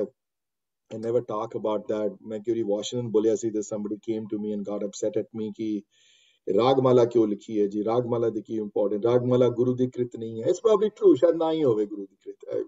I nobody can say that ਗੁਰੂ ਕੀ ਕ੍ਰਿਤ ਹੈ ਕਿ ਨਹੀਂ। 100% ਕੋਈ ਨਹੀਂ ਕਹਿ ਸਕਦਾ। ਪਰ ਇਹ ਗੱਲ ਤੇ ਮੈਂ ਕਹਿ ਸਕਦਾ ਦਾਅਵੇ ਨਾਲ ਕਿ ਗੁਰਮਤ ਵਿੱਚ ਸੰਗੀਤ ਦੀ ਬਹੁਤ ਵੱਡੀ ਇੰਪੋਰਟੈਂਸ ਹੈ। ਇਹਦੇ 'ਚ ਕੋਈ ਡਾਊਟ ਨਹੀਂ ਹੈ ਇਹਦੇ 'ਚ ਜੀ ਉਹਨਾਂ ਰਾਗਾਂ ਦੀ, ਉਹਨਾਂ ਰਾਗਾਂ ਦੀ ਬਣਤਰ, ਉਹਨਾਂ ਰਾਗਾਂ ਦੇ ਸਰੂਪ, ਉਹਨਾਂ ਰਾਗਾਂ ਦਾ ਕ੍ਰਮ, ਜਿਸ ਕ੍ਰਮ ਵਿੱਚ ਆਏ ਹਨ, ਉਹਨਾਂ ਦੀ ਬਹੁਤ ਵੱਡੀ ਇੰਪੋਰਟੈਂਸ ਹੈ, ਹਾਂਜੀ। ਉਹਨਾਂ ਰਾਗਾਂ ਦੇ ਨਾਂ, ਉਹਨਾਂ ਰਾਗਾਂ ਵਿੱਚੋਂ ਨਿਕਲੀਆਂ ਹੋਈਆਂ ਇਮੋਸ਼ਨ ਤੁਹਾਨੂੰ ਪ੍ਰਮਾਤਮਾ ਤੱਕ ਪਹੁੰਚਾਣ ਦੀ ਬਹੁਤ ਵੱਡਾ ਜ਼ਰੀਆ ਗੁਰੂਆਂ ਨੇ ਯੂਜ਼ ਕੀਤਾ ਉਸ ਰੀਆ। ਤੇ ਮੇਰੇ ਹਿਸਾਬ ਦੇ ਨਾਲ ਉਹਨਾਂ ਰਾਗਾਂ ਨੂੰ ਨਮਸਕਾਰ ਹੈ ਕਿਸਮ ਦੀ, ਇੱਕ ਕਿਸਮ ਦੀ, ਇੱਕ ਕਿਸਮ ਦੀ, ਹਾਂਜੀ thank you so much for doing this for us you know ਆਇਓ ਪ੍ਰਥਮ ਰਾਗ ਪੈਰੋਂ ਐ ਸੋਈ, ਠੀਕ ਹੈ। ਕਈ ਰਾਗ ਇਹੋ ਜਿਹੇ ਵੀ ਹਨ ਜਿਹੜੇ ਨਹੀਂ ਆਏ ਗੁਰਬਾਣੀ ਚ ਯੂ نو ਕਈ ਰਾਗ ਇਹੋ ਜਿਹੇ ਯੂਜ਼ ਕੀਤੇ ਜਿਹੜੇ ਗੁਰਬਾਣੀ ਚ ਨਹੀਂ ਵਰਡ ਤਾਂ ਵੀ ਆਏ ਇਨ ਤੇ ਕਈ ਇਹੋ ਹੀ ਹਨ ਜਿਹੜੇ ਗੁਰਬਾਣੀ ਯੂਜ਼ ਹੋਣ, ਉੱਥੇ ਨਹੀਂ ਆਏ ਯੂ نو ਨਾਦ ਨਾਦ ਹੈ। ਗੁਰੂ ਕੀ ਕ੍ਰਿਤ ਹੈ ਕਿ ਨਹੀਂ, ਕਹਿਣਾ ਮੁਸ਼ਕਿਲ ਹੈ। ਸਮ ਪੀਪਲ ਬਲੀਵ ਨਹੀਂ ਹੈ ਕੀ ਪਤਾ ਨਾ ਹੀ ਹੋਵੇ ਕੋਈ ਵੱਡੀ ਗੱਲ ਨਹੀਂ ਕੀ ਪਤਾ ਨਾ ਲਿਖਿਆ ਹੋਇਆ ਆਪੇ ਕਿਸੇ ਹੋਰ ਨੇ ਲਿਖੇ ਹੋਣ ਬੜੀ ਗੁਰਬਾਣੀ ਇਹੋ ਜੀ ਹੈ ਜਿਹੜੀ ਗੁਰੂ ਕੀ ਕਿਰਤ ਨਹੀਂ ਹੈ ਯੂ نو ਕਈ ਸਿੱਖਾਂ ਦੀ ਕਿਰਤ ਵੀ ਹੈ ਨਾਲ ਪਰ ਮਾੜੀ ਨਹੀਂ ਹੈ ਗੱਲ ਰਾਗਾ ਨੂੰ ਇੱਕ ਇੱਕ ਇੱਕ ਦੰਡੋਤ ਦੰਡਵਤ ਪ੍ਰਣਾਮ ਹੈ ਉਥੇ ਕਿ ਥੈਂਕ ਯੂ ਮਾਲੀ ਗੋੜਾ for for for for coming into our life Thank you, Kalyan, for bringing divinity. You know, thank you, Bilawal, for giving the optimism. Thank you, Sri, for giving the feeling of separation, you know, ਜਿਹੜੀ important emotion ਨੇ ਜਿਹੜੀਆਂ, ਇਹ ਨਾ ਦੇਣ ਸਾਰੇ। ਤੇ ਇਹ ਇਹ ਜਿਹੜੀਆਂ ਫੀਲਿੰਗ ਇਹ ਇਹ ਗੁਰੂ ਤੋਂ ਸਿਵਾਏ ਹੋਰ ਕੋਈ ਨਹੀਂ ਦੇ ਸਕਦਾ। ਇਹ ਉਹਨਾਂ ਦੀ ਉੱਚੀ ਸੋਚ ਹੈ। ਇਹ ਉਹਨਾਂ ਦੀ ਉੱਚੀ ਸੋਚ ਹੈ ਕਿ ਉਸ ਸੋਚ ਦੇ ਹਿਸਾਬ ਦੇ ਨਾਲ ਉਹਨੇ ਗੁਰਬਾਣੀ ਨੂੰ ਰਾਗਾਂ ਚ ਬੰਦ ਕੀਤਾ ਉਹਨਾਂ ਨੇ। ਇਸੇ ਵਾਸਤੇ ਵਿਸਮਾਦ ਵੀ ਪਹਿਲੇ ਨਾਦ ਤੋਂ ਆਇਆ ਹੈ ਉਹਨਾਂ ਨੂੰ। ਉਹ ਆਸਾ ਦੀਵਾਰ ਦੇ ਉਸ ਸ਼ਲੋਕ ਵੀ ਬੜੀ ਕਲੈਰਿਟੀ ਹੈ, ਵਿਸਮਾਦ ਨਾਦ, ਵਿਸਮਾਦ ਵੇਦ। ਉਸ ਤੋਂ ਬਾਅਦ ਹੈ ਵਿਸਮਾਦ ਜੀ ਵਿਸਮਾਦ ਭੇਦ। ਹੈ ਨਾ? ਜੀਵ ਭੇਦ ਬਾਅਦ ਦੀ ਗੱਲ ਆਈ ਹੈ, ਪਹਿਲੇ ਨਾਦ ਦੀ ਗੱਲ ਆਈ ਹੈ, ਪਹਿਲੇ ਪਿਆਰ ਦੀ ਗੱਲ ਆਈ ਹੈ, ਪਹਿਲੇ ਇਮੋਸ਼ਨਲ ਗੱਲ ਆਈ ਹੈ। ਔਰ ਪਿਆਰ ਇਮੋਸ਼ਨ ਬਿਨਾ ਹੋ ਨਹੀਂ ਸਕਦਾ। ਇਹ ਯਾਦ ਰੱਖਿਓ ਮੇਰੀ ਗੱਲ, ਆਪਣੀ ਧੀਆਂ ਪੁੱਤਰ ਨਾਲ ਪਿਆਰ ਹੈ ਤੇ ਇਮੋਸ਼ਨ ਹੈ। ਜਿਹੜੀ ਤਕਲੀਫ ਹੋਵੇ ਤੇ ਅੱਖਾਂ ਚ ਅਥਰੂ ਆ ਜਾਂਦੀਆਂ, ਬੰਦਾ ਦੁਖੀ ਹੋ ਜਾਂਦਾ ਬੜਾ। ਤੇ ਜੇ ਪਿਆਰ ਨਾ ਹੋਵੇ ਤੇ ਕੋਈ ਕੋਈ, ਉੱਥੇ ਕੋਈ ਇਮੋਸ਼ਨਲ ਗੱਲ ਨਹੀਂ ਹੁੰਦੀ ਕੋਈ। ਜੇ ਕੋਈ ਪਿਆਰ ਨਾ ਹੋਵੇ ਤੇ ਉੱਥੇ ਕੋਈ ਉੱਥੇ ਉੱਥੇ ਕੋਈ ਇਹੋ ਜੀ ਗੱਲ ਨਹੀਂ ਹੈ ਕਿ ਜੇ ਜੇ ਪਿਆਰ ਨਹੀਂ ਹੈ ਤੇ ਫਿਰ ਕੁਝ ਵੀ ਨਹੀਂ, ਜਿੰਨੀ ਮਰਜ਼ੀ ਨੌਲੇਜ ਹੋਵੇ ਪਈ ਅਗਰ A, B ਨੂੰ ਚੰਗੀ ਤਰ੍ਹਾਂ ਜਾਣਦਾ ਹੋਵੇ, ਅੱਛੀ ਤਰ੍ਹਾਂ ਜਾਣੂ ਹੋਵੇ B ਬਾਰੇ, ਪਰ ਪਿਆਰ ਨਾ ਹੋਵੇ ਉਸ ਨੂੰ ਉਹਦੇ ਨਾਲ ਫੀਲਿੰਗਸ ਹੀ ਨਾ ਹੋਣ ਉਹਦੀਆਂ ਉੱਥੇ ਉਹ ਜਾਣ ਪਛਾਣ ਨਹੀਂ ਹੋ ਸਕਦੀ। ਮਹਾਰਾਜ ਇਹਨਾਂ ਪੌੜੀਆਂ ਵਿੱਚ ਨਾਦਨ ਤੇ ਵੇਦਨ ਕਹਿ ਕੇ ਦੱਸਦੇ ਹਨ ਕਿ ਇਹ ਪਿਆਰ ਤੇ ਗਿਆਨ ਦੋਨਾਂ ਦਾ ਰਸਤਾ ਹੈ ਤੇ ਦੋਨੋਂ ਚੀਜ਼ਾਂ ਗੁਰੂ ਤੋਂ ਮਿਲਦੀਆਂ ਹਨ। ਦੋਨੋਂ ਚੀਜ਼ਾਂ ਦੀ ਆਧਾਰ ਗੁਰਬਾਣੀ ਵਿੱਚ ਹੈ। ਤੇ ਗੁਰਬਾਣੀ ਵਿੱਚ ਨੌਲੇਜ ਹੀ ਭਰਪੂਰ ਹੈ। ਤੇ ਗੁਰਬਾਣੀ ਵਿੱਚ ਜਦੋਂ ਉਹਨਾਂ ਰਾਗਾਂ ਦੇ ਹਿਸਾਬ ਦੇ ਨਾਲ ਗੁਰਬਾਣੀ ਗਾਇਨ ਕਰਨਾ ਜਦੋਂ ਗਾਉਂਦਾ ਹੈ ਬੰਦਾ ਜਾਂ ਸਿੱਖਦਾ ਹੈ ਜਾਂ ਸਿਖਾਉਂਦਾ ਹੈ, ਤੇ ਉਹ ਪਿਆਰ ਜਿਹੜਾ ਹੈ, ਉਹ, ਇਹ ਉਹਨਾਂ ਨੂੰ, ਇਹ ਸਵਾਦ ਉਹਨਾਂ ਨੇ ਚੱਖਿਆ ਹੈ, ਜਿਨ੍ਹਾਂ ਨੇ ਸਿੱਖਿਆ ਹੈ। ਇਹ ਸਵਾਦ ਉਹਨਾਂ ਨੇ ਚੱਖਿਆ ਹੈ, ਜਿਨ੍ਹਾਂ ਨੇ ਸੁਣੀ ਹੈ, ਜਿਨ੍ਹਾਂ ਜਿਨ੍ਹਾਂ ਨੇ ਸਿੱਖਣ ਦੀ ਕੋਸ਼ਿਸ਼ ਕੀਤੀ ਹੈ। ਜਿਹੜੇ ਵਿਚਾਰੇ ਨਹੀਂ ਕਰ ਸਕੇ, ਇਹ ਇਹ ਮਾੜੇ ਭਾਗੇ ਨੇ ਜਿਹੜੇ ਨਹੀਂ ਕਰ ਸਕੇ, ਉਹ ਉਹ ਦੇਖਣ Very well explained. Very well explained. Thank you. So, uh, Virji, ਇਹਦੇ ਵਿੱਚ thank you for the explanation ਮੈਂ ਛੋਟੀ ਜੀ ਚੀਜ਼ ਮੈਂ ਤੁਹਾਡੇ ਸਾਹਮਣੇ ਪੇਸ਼ ਕਰਨਾ ਚਾਹੁੰਦਾ ਸੀ ਕਿ if we look at the Guru Granth Sahib, it is a book and it is written, it's words. But ਉਸ ਬੁੱਕ ਨੂੰ ਆਪਣੇ ਮਨ ਦੇ ਵਿੱਚ ਵਸਾਉਣ ਵਾਸਤੇ ਕਿਸੇ ਵੀ ਬੁੱਕ ਜੇ ਜਦੋਂ ਆਪਾਂ ਪੋਇਟਰੀ ਵੀ ਕਿਸੇ ਸੁਣਦੇ ਆ ਤੇ ਪੋਇਟਰੀ ਜਿਹੜੀ ਹੈਗੀ ਹੈ, ਉਹ ਕੋਈ ਸੁਣਾ ਰਿਹਾ ਹੋਵੇ ਜਸਟ ਐ ਸਿੰਪਲ ਵਰਡਸ ਤੇ ਫਿਰ ਉਹਨੂੰ ਸੁਰ ਦੇ ਵਿੱਚ ਬੰਦ ਕਰ ਦੇਵੇ, ਸੁਰ ਦੇ ਵਿੱਚ ਨਾਲ ਮਿਲਾ ਦੇਵੇ, ਤੇ ਉਹ ਜਿਹੜੀ ਚੀਜ਼ ਜਿਹੜੀ ਮਨ ਦੇ ਵਿੱਚ ਖੁੱਬਦੀ ਹੈ, ਸਰੀਰ ਦੇ ਵਿੱਚ ਖੁੱਬਦੀ ਹੈ, ਜਿਹੜਾ ਉਹਦਾ ਅਸਰ ਹੁੰਦਾ ਹੈ। So may uh, the only thing what i'm saying is that ਇੱਕ ਲਫ਼ਜ਼ ਨੂੰ ਇੱਕ ਅੱਖਰ ਨੂੰ ਇੱਕ ਕਿਤਾਬ ਦੇ ਉੱਤੇ ਟੂ ਡਾਈਮੈਂਸ਼ਨਲ ਥਿੰਗ ਨੂੰ ਥਰੀ ਡਾਈਮੈਂਸ਼ਨਲ ਔਰ ਐਵਰੀ ਡਾਈਮੈਂਸ਼ਨਲ ਬਣਾਉਣ ਵਾਸਤੇ ਰਾਗ ਸੁਰ ਜਿਹੜਾ ਸੀ ਉਹ ਬਹੁਤ that was the way that guru sahib thought ਕਿ ਇਹ ਇਹਦੇ ਨਾਲ ਜਿਹੜਾ ਮਨ ਦੇ ਵਿੱਚ ਵਸੇਗਾ ਮੇਰਾ ਇਹ ਥੋੜਾ ਜਿਹਾ ਮਤਲਬ please accept my my explanation ਤੇ ਦੂਜੀ ਗੱਲ ਇਹ ਕਿ ਜਦੋਂ ਅਸੀਂ ਛੋਟੇ ਹੁੰਨੇ ਆ ਬੱਚੇ ਹੁੰਨੇ ਆ ਜਿਹੜਾ ਸੁਰ ਹੈ, ਉਹ ਸਾਨੂੰ ਸਭ ਤੋਂ ਪਹਿਲਾਂ ਅਟਰੈਕਟ ਕਰਦਾ ਹੈਗਾ। ਸੋ ਗੁਰਮੁਖ ਨਾਦਨ ਜਿਹੜਾ ਸ਼ੁਰੂ ਦੇ ਵਿੱਚ ਬੱਚੇ ਦੇ ਜਿਹੜਾ ਅਸੀਂ ਐਜ਼ ਅ ਜਿਹੜਾ ਬੇਸ ਸਾਡਾ ਲੈਵਲ ਹੈ ਉਹ ਨਾਦ ਨੂੰ ਅਟਰੈਕਟ ਹੁੰਦਾ ਹੈ। ਵੇਦ ਜਿਹੜਾ ਹੈ ਅਸੀਂ ਜਦੋਂ ਵੱਡੇ ਹੁੰਨੇ ਆ ਅਸੀਂ ਸਮਝਣ ਸਮਝਣ ਦੀ ਸਾਡੀ ਕਪੈਸਿਟੀ ਬਣਦੀ ਹੈ। That comes later.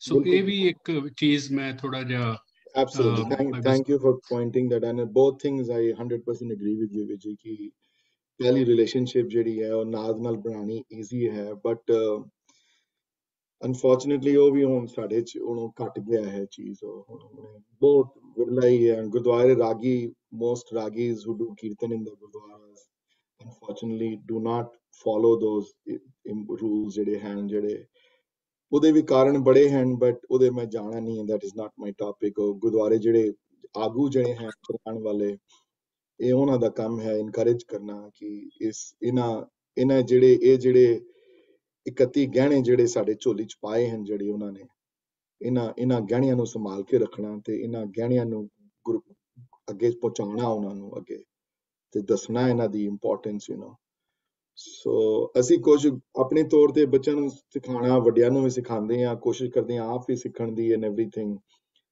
ਐਂਡ ਇਹ ਮੇਰਾ ਪਰਸਨਲ ਲਾਈਫ ਦਾ ਐਕਸਪੀਰੀਅੰਸ ਰਿਹਾ ਹੈ ਕਿ I think I probably would not have embarked on this much of a journey ਪਹਿਲੇ ਸ਼ੁਰੂ ਤੋਂ ਲੈ ਕੇ ਹੁਣ ਤੱਕ ਜੇ ਸੰਗੀਤ ਜੇ ਹਿੱਸਾ ਨਾ ਹੁੰਦਾ ਗੁਰਬਾਣੀ ਦਾ, ਤੇ ਮੇਰੀ ਪਰਸਨਲ ਲਾਈਫ ਵਿੱਚ ਉਹ ਚੀਜ਼ ਨਾ ਹੋ ਪਾਉਂਦੀ ਬੜੀ। ਸੋ ਇਹ ਬਿਲਾਵਲ ਤੇ ਕਲਿਆਣ ਦਾ ਇੱਕ ਇੱਕ ਇਹ ਜਾਦੂ ਹੈ ਨੇ ਬੜੇ ਮੈਜੀਕਲ ਨੋਟਸ ਹਨ ਉਹਨਾਂ ਚ, ਜਿਹੜੇ ਲੱਗਦਿਆਂ ਸਾਰੀ।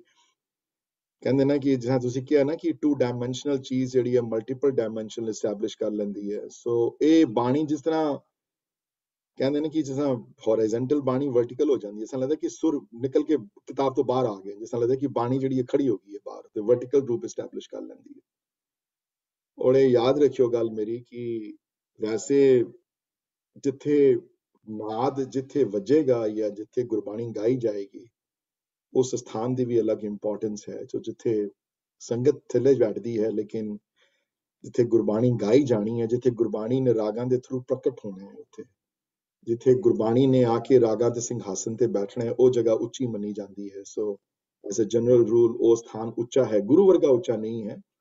ਗੁਰੂ ਸਾਹਿਬ ਮਹਾਰਾਜ ਦੀ ਬੀੜ ਜਿਹੜੀ ਹੈ, ਉਹ ਸਭ ਤੋਂ ਉੱਚੀ ਜਗ੍ਹਾ ਤੇ ਹੁੰਦੀ ਹੈ, ਜਿੱਥੇ ਮਹਾਰਾਜ ਤਾਬਿਆ ਬੰਦੇ ਬੈਠਦੇ ਹਨ।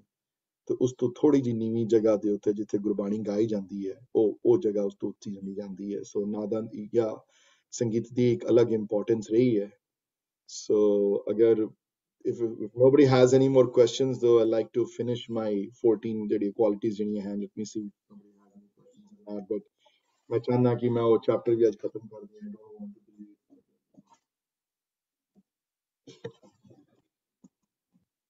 so last time ਮੈਂ 14 ਗੁਣ ਜਿਹੜੇ ਹਨ ਉਹ ਦੱਸੇ ਸਨ ਤੁਹਾਨੂੰ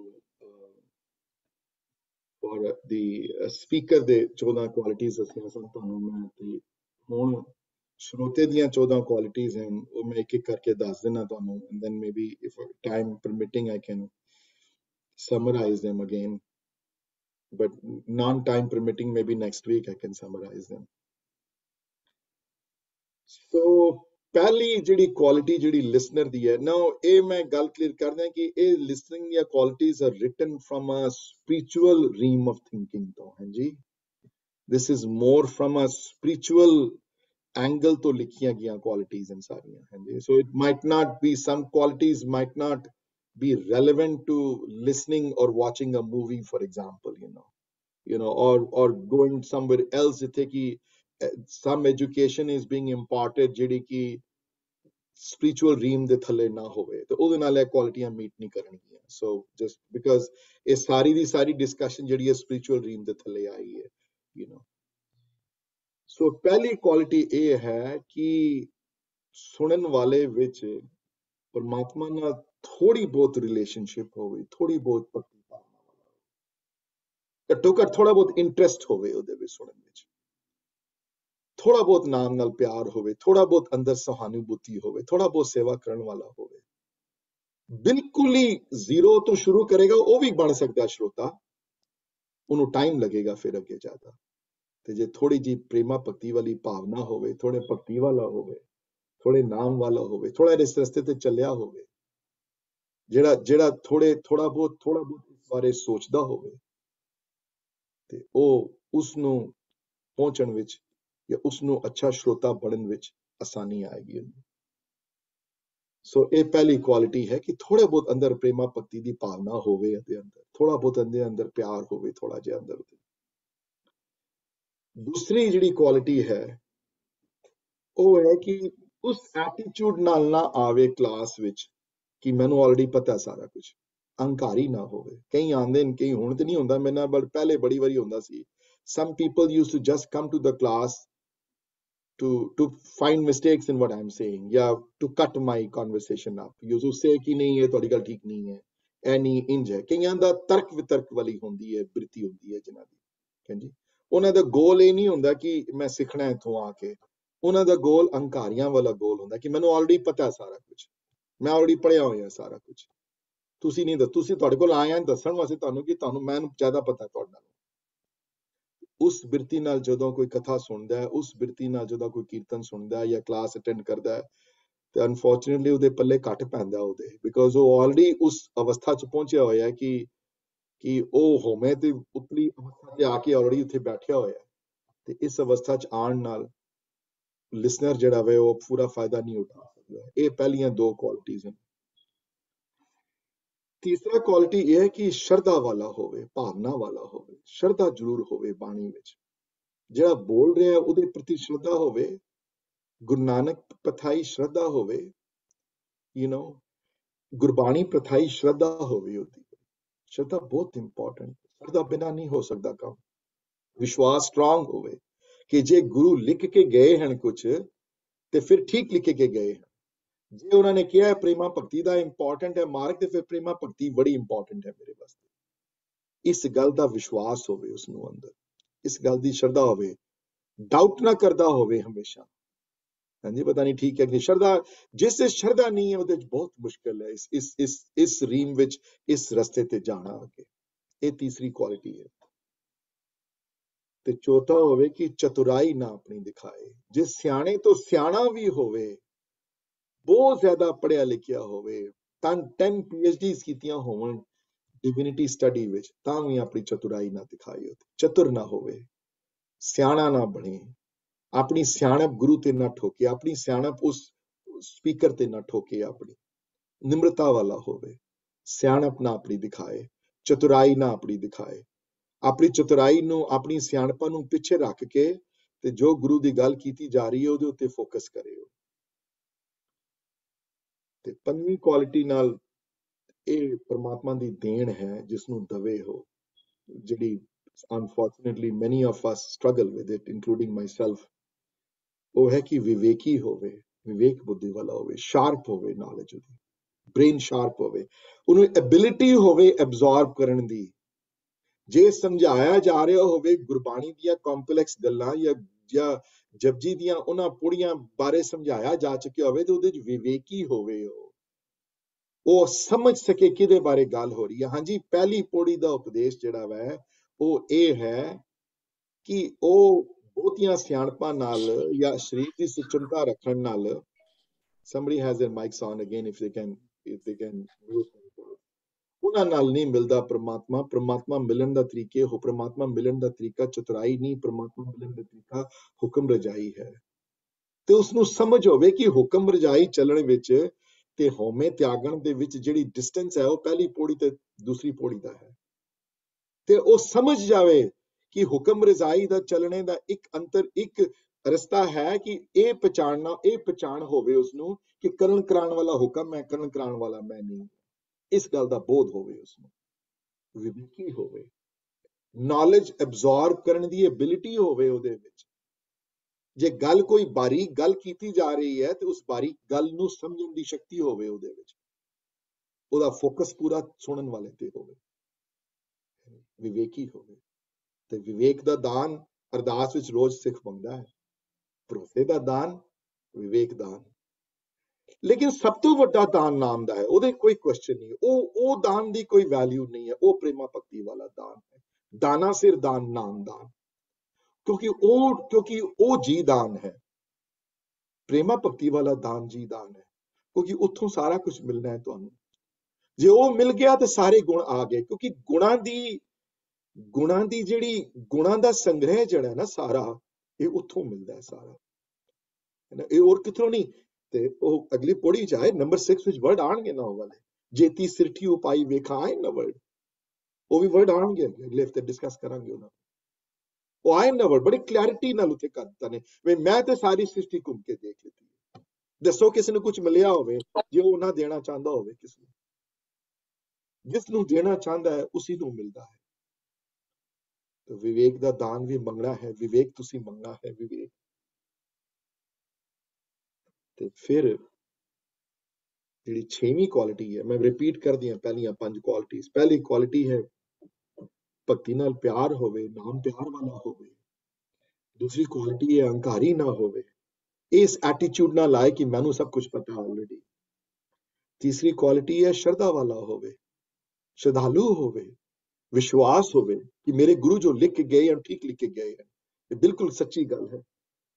ਤੇ ਚੌਥੀ ਹੈ ਕਿ ਚਤੁਰਾਈ ਨਾ ਦਿਖਾਏ, ਆਪਣੇ ਆਪ ਨੂੰ ਬਹੁਤਾ ਸਮਾਰਟ ਨਾ ਗਿਣੇ ਬਹੁਤਾ, ਹਰ ਗੱਲ ਕੱਟਣ ਦੀ ਕੋਸ਼ਿਸ਼ ਨਾ ਕਰੇ।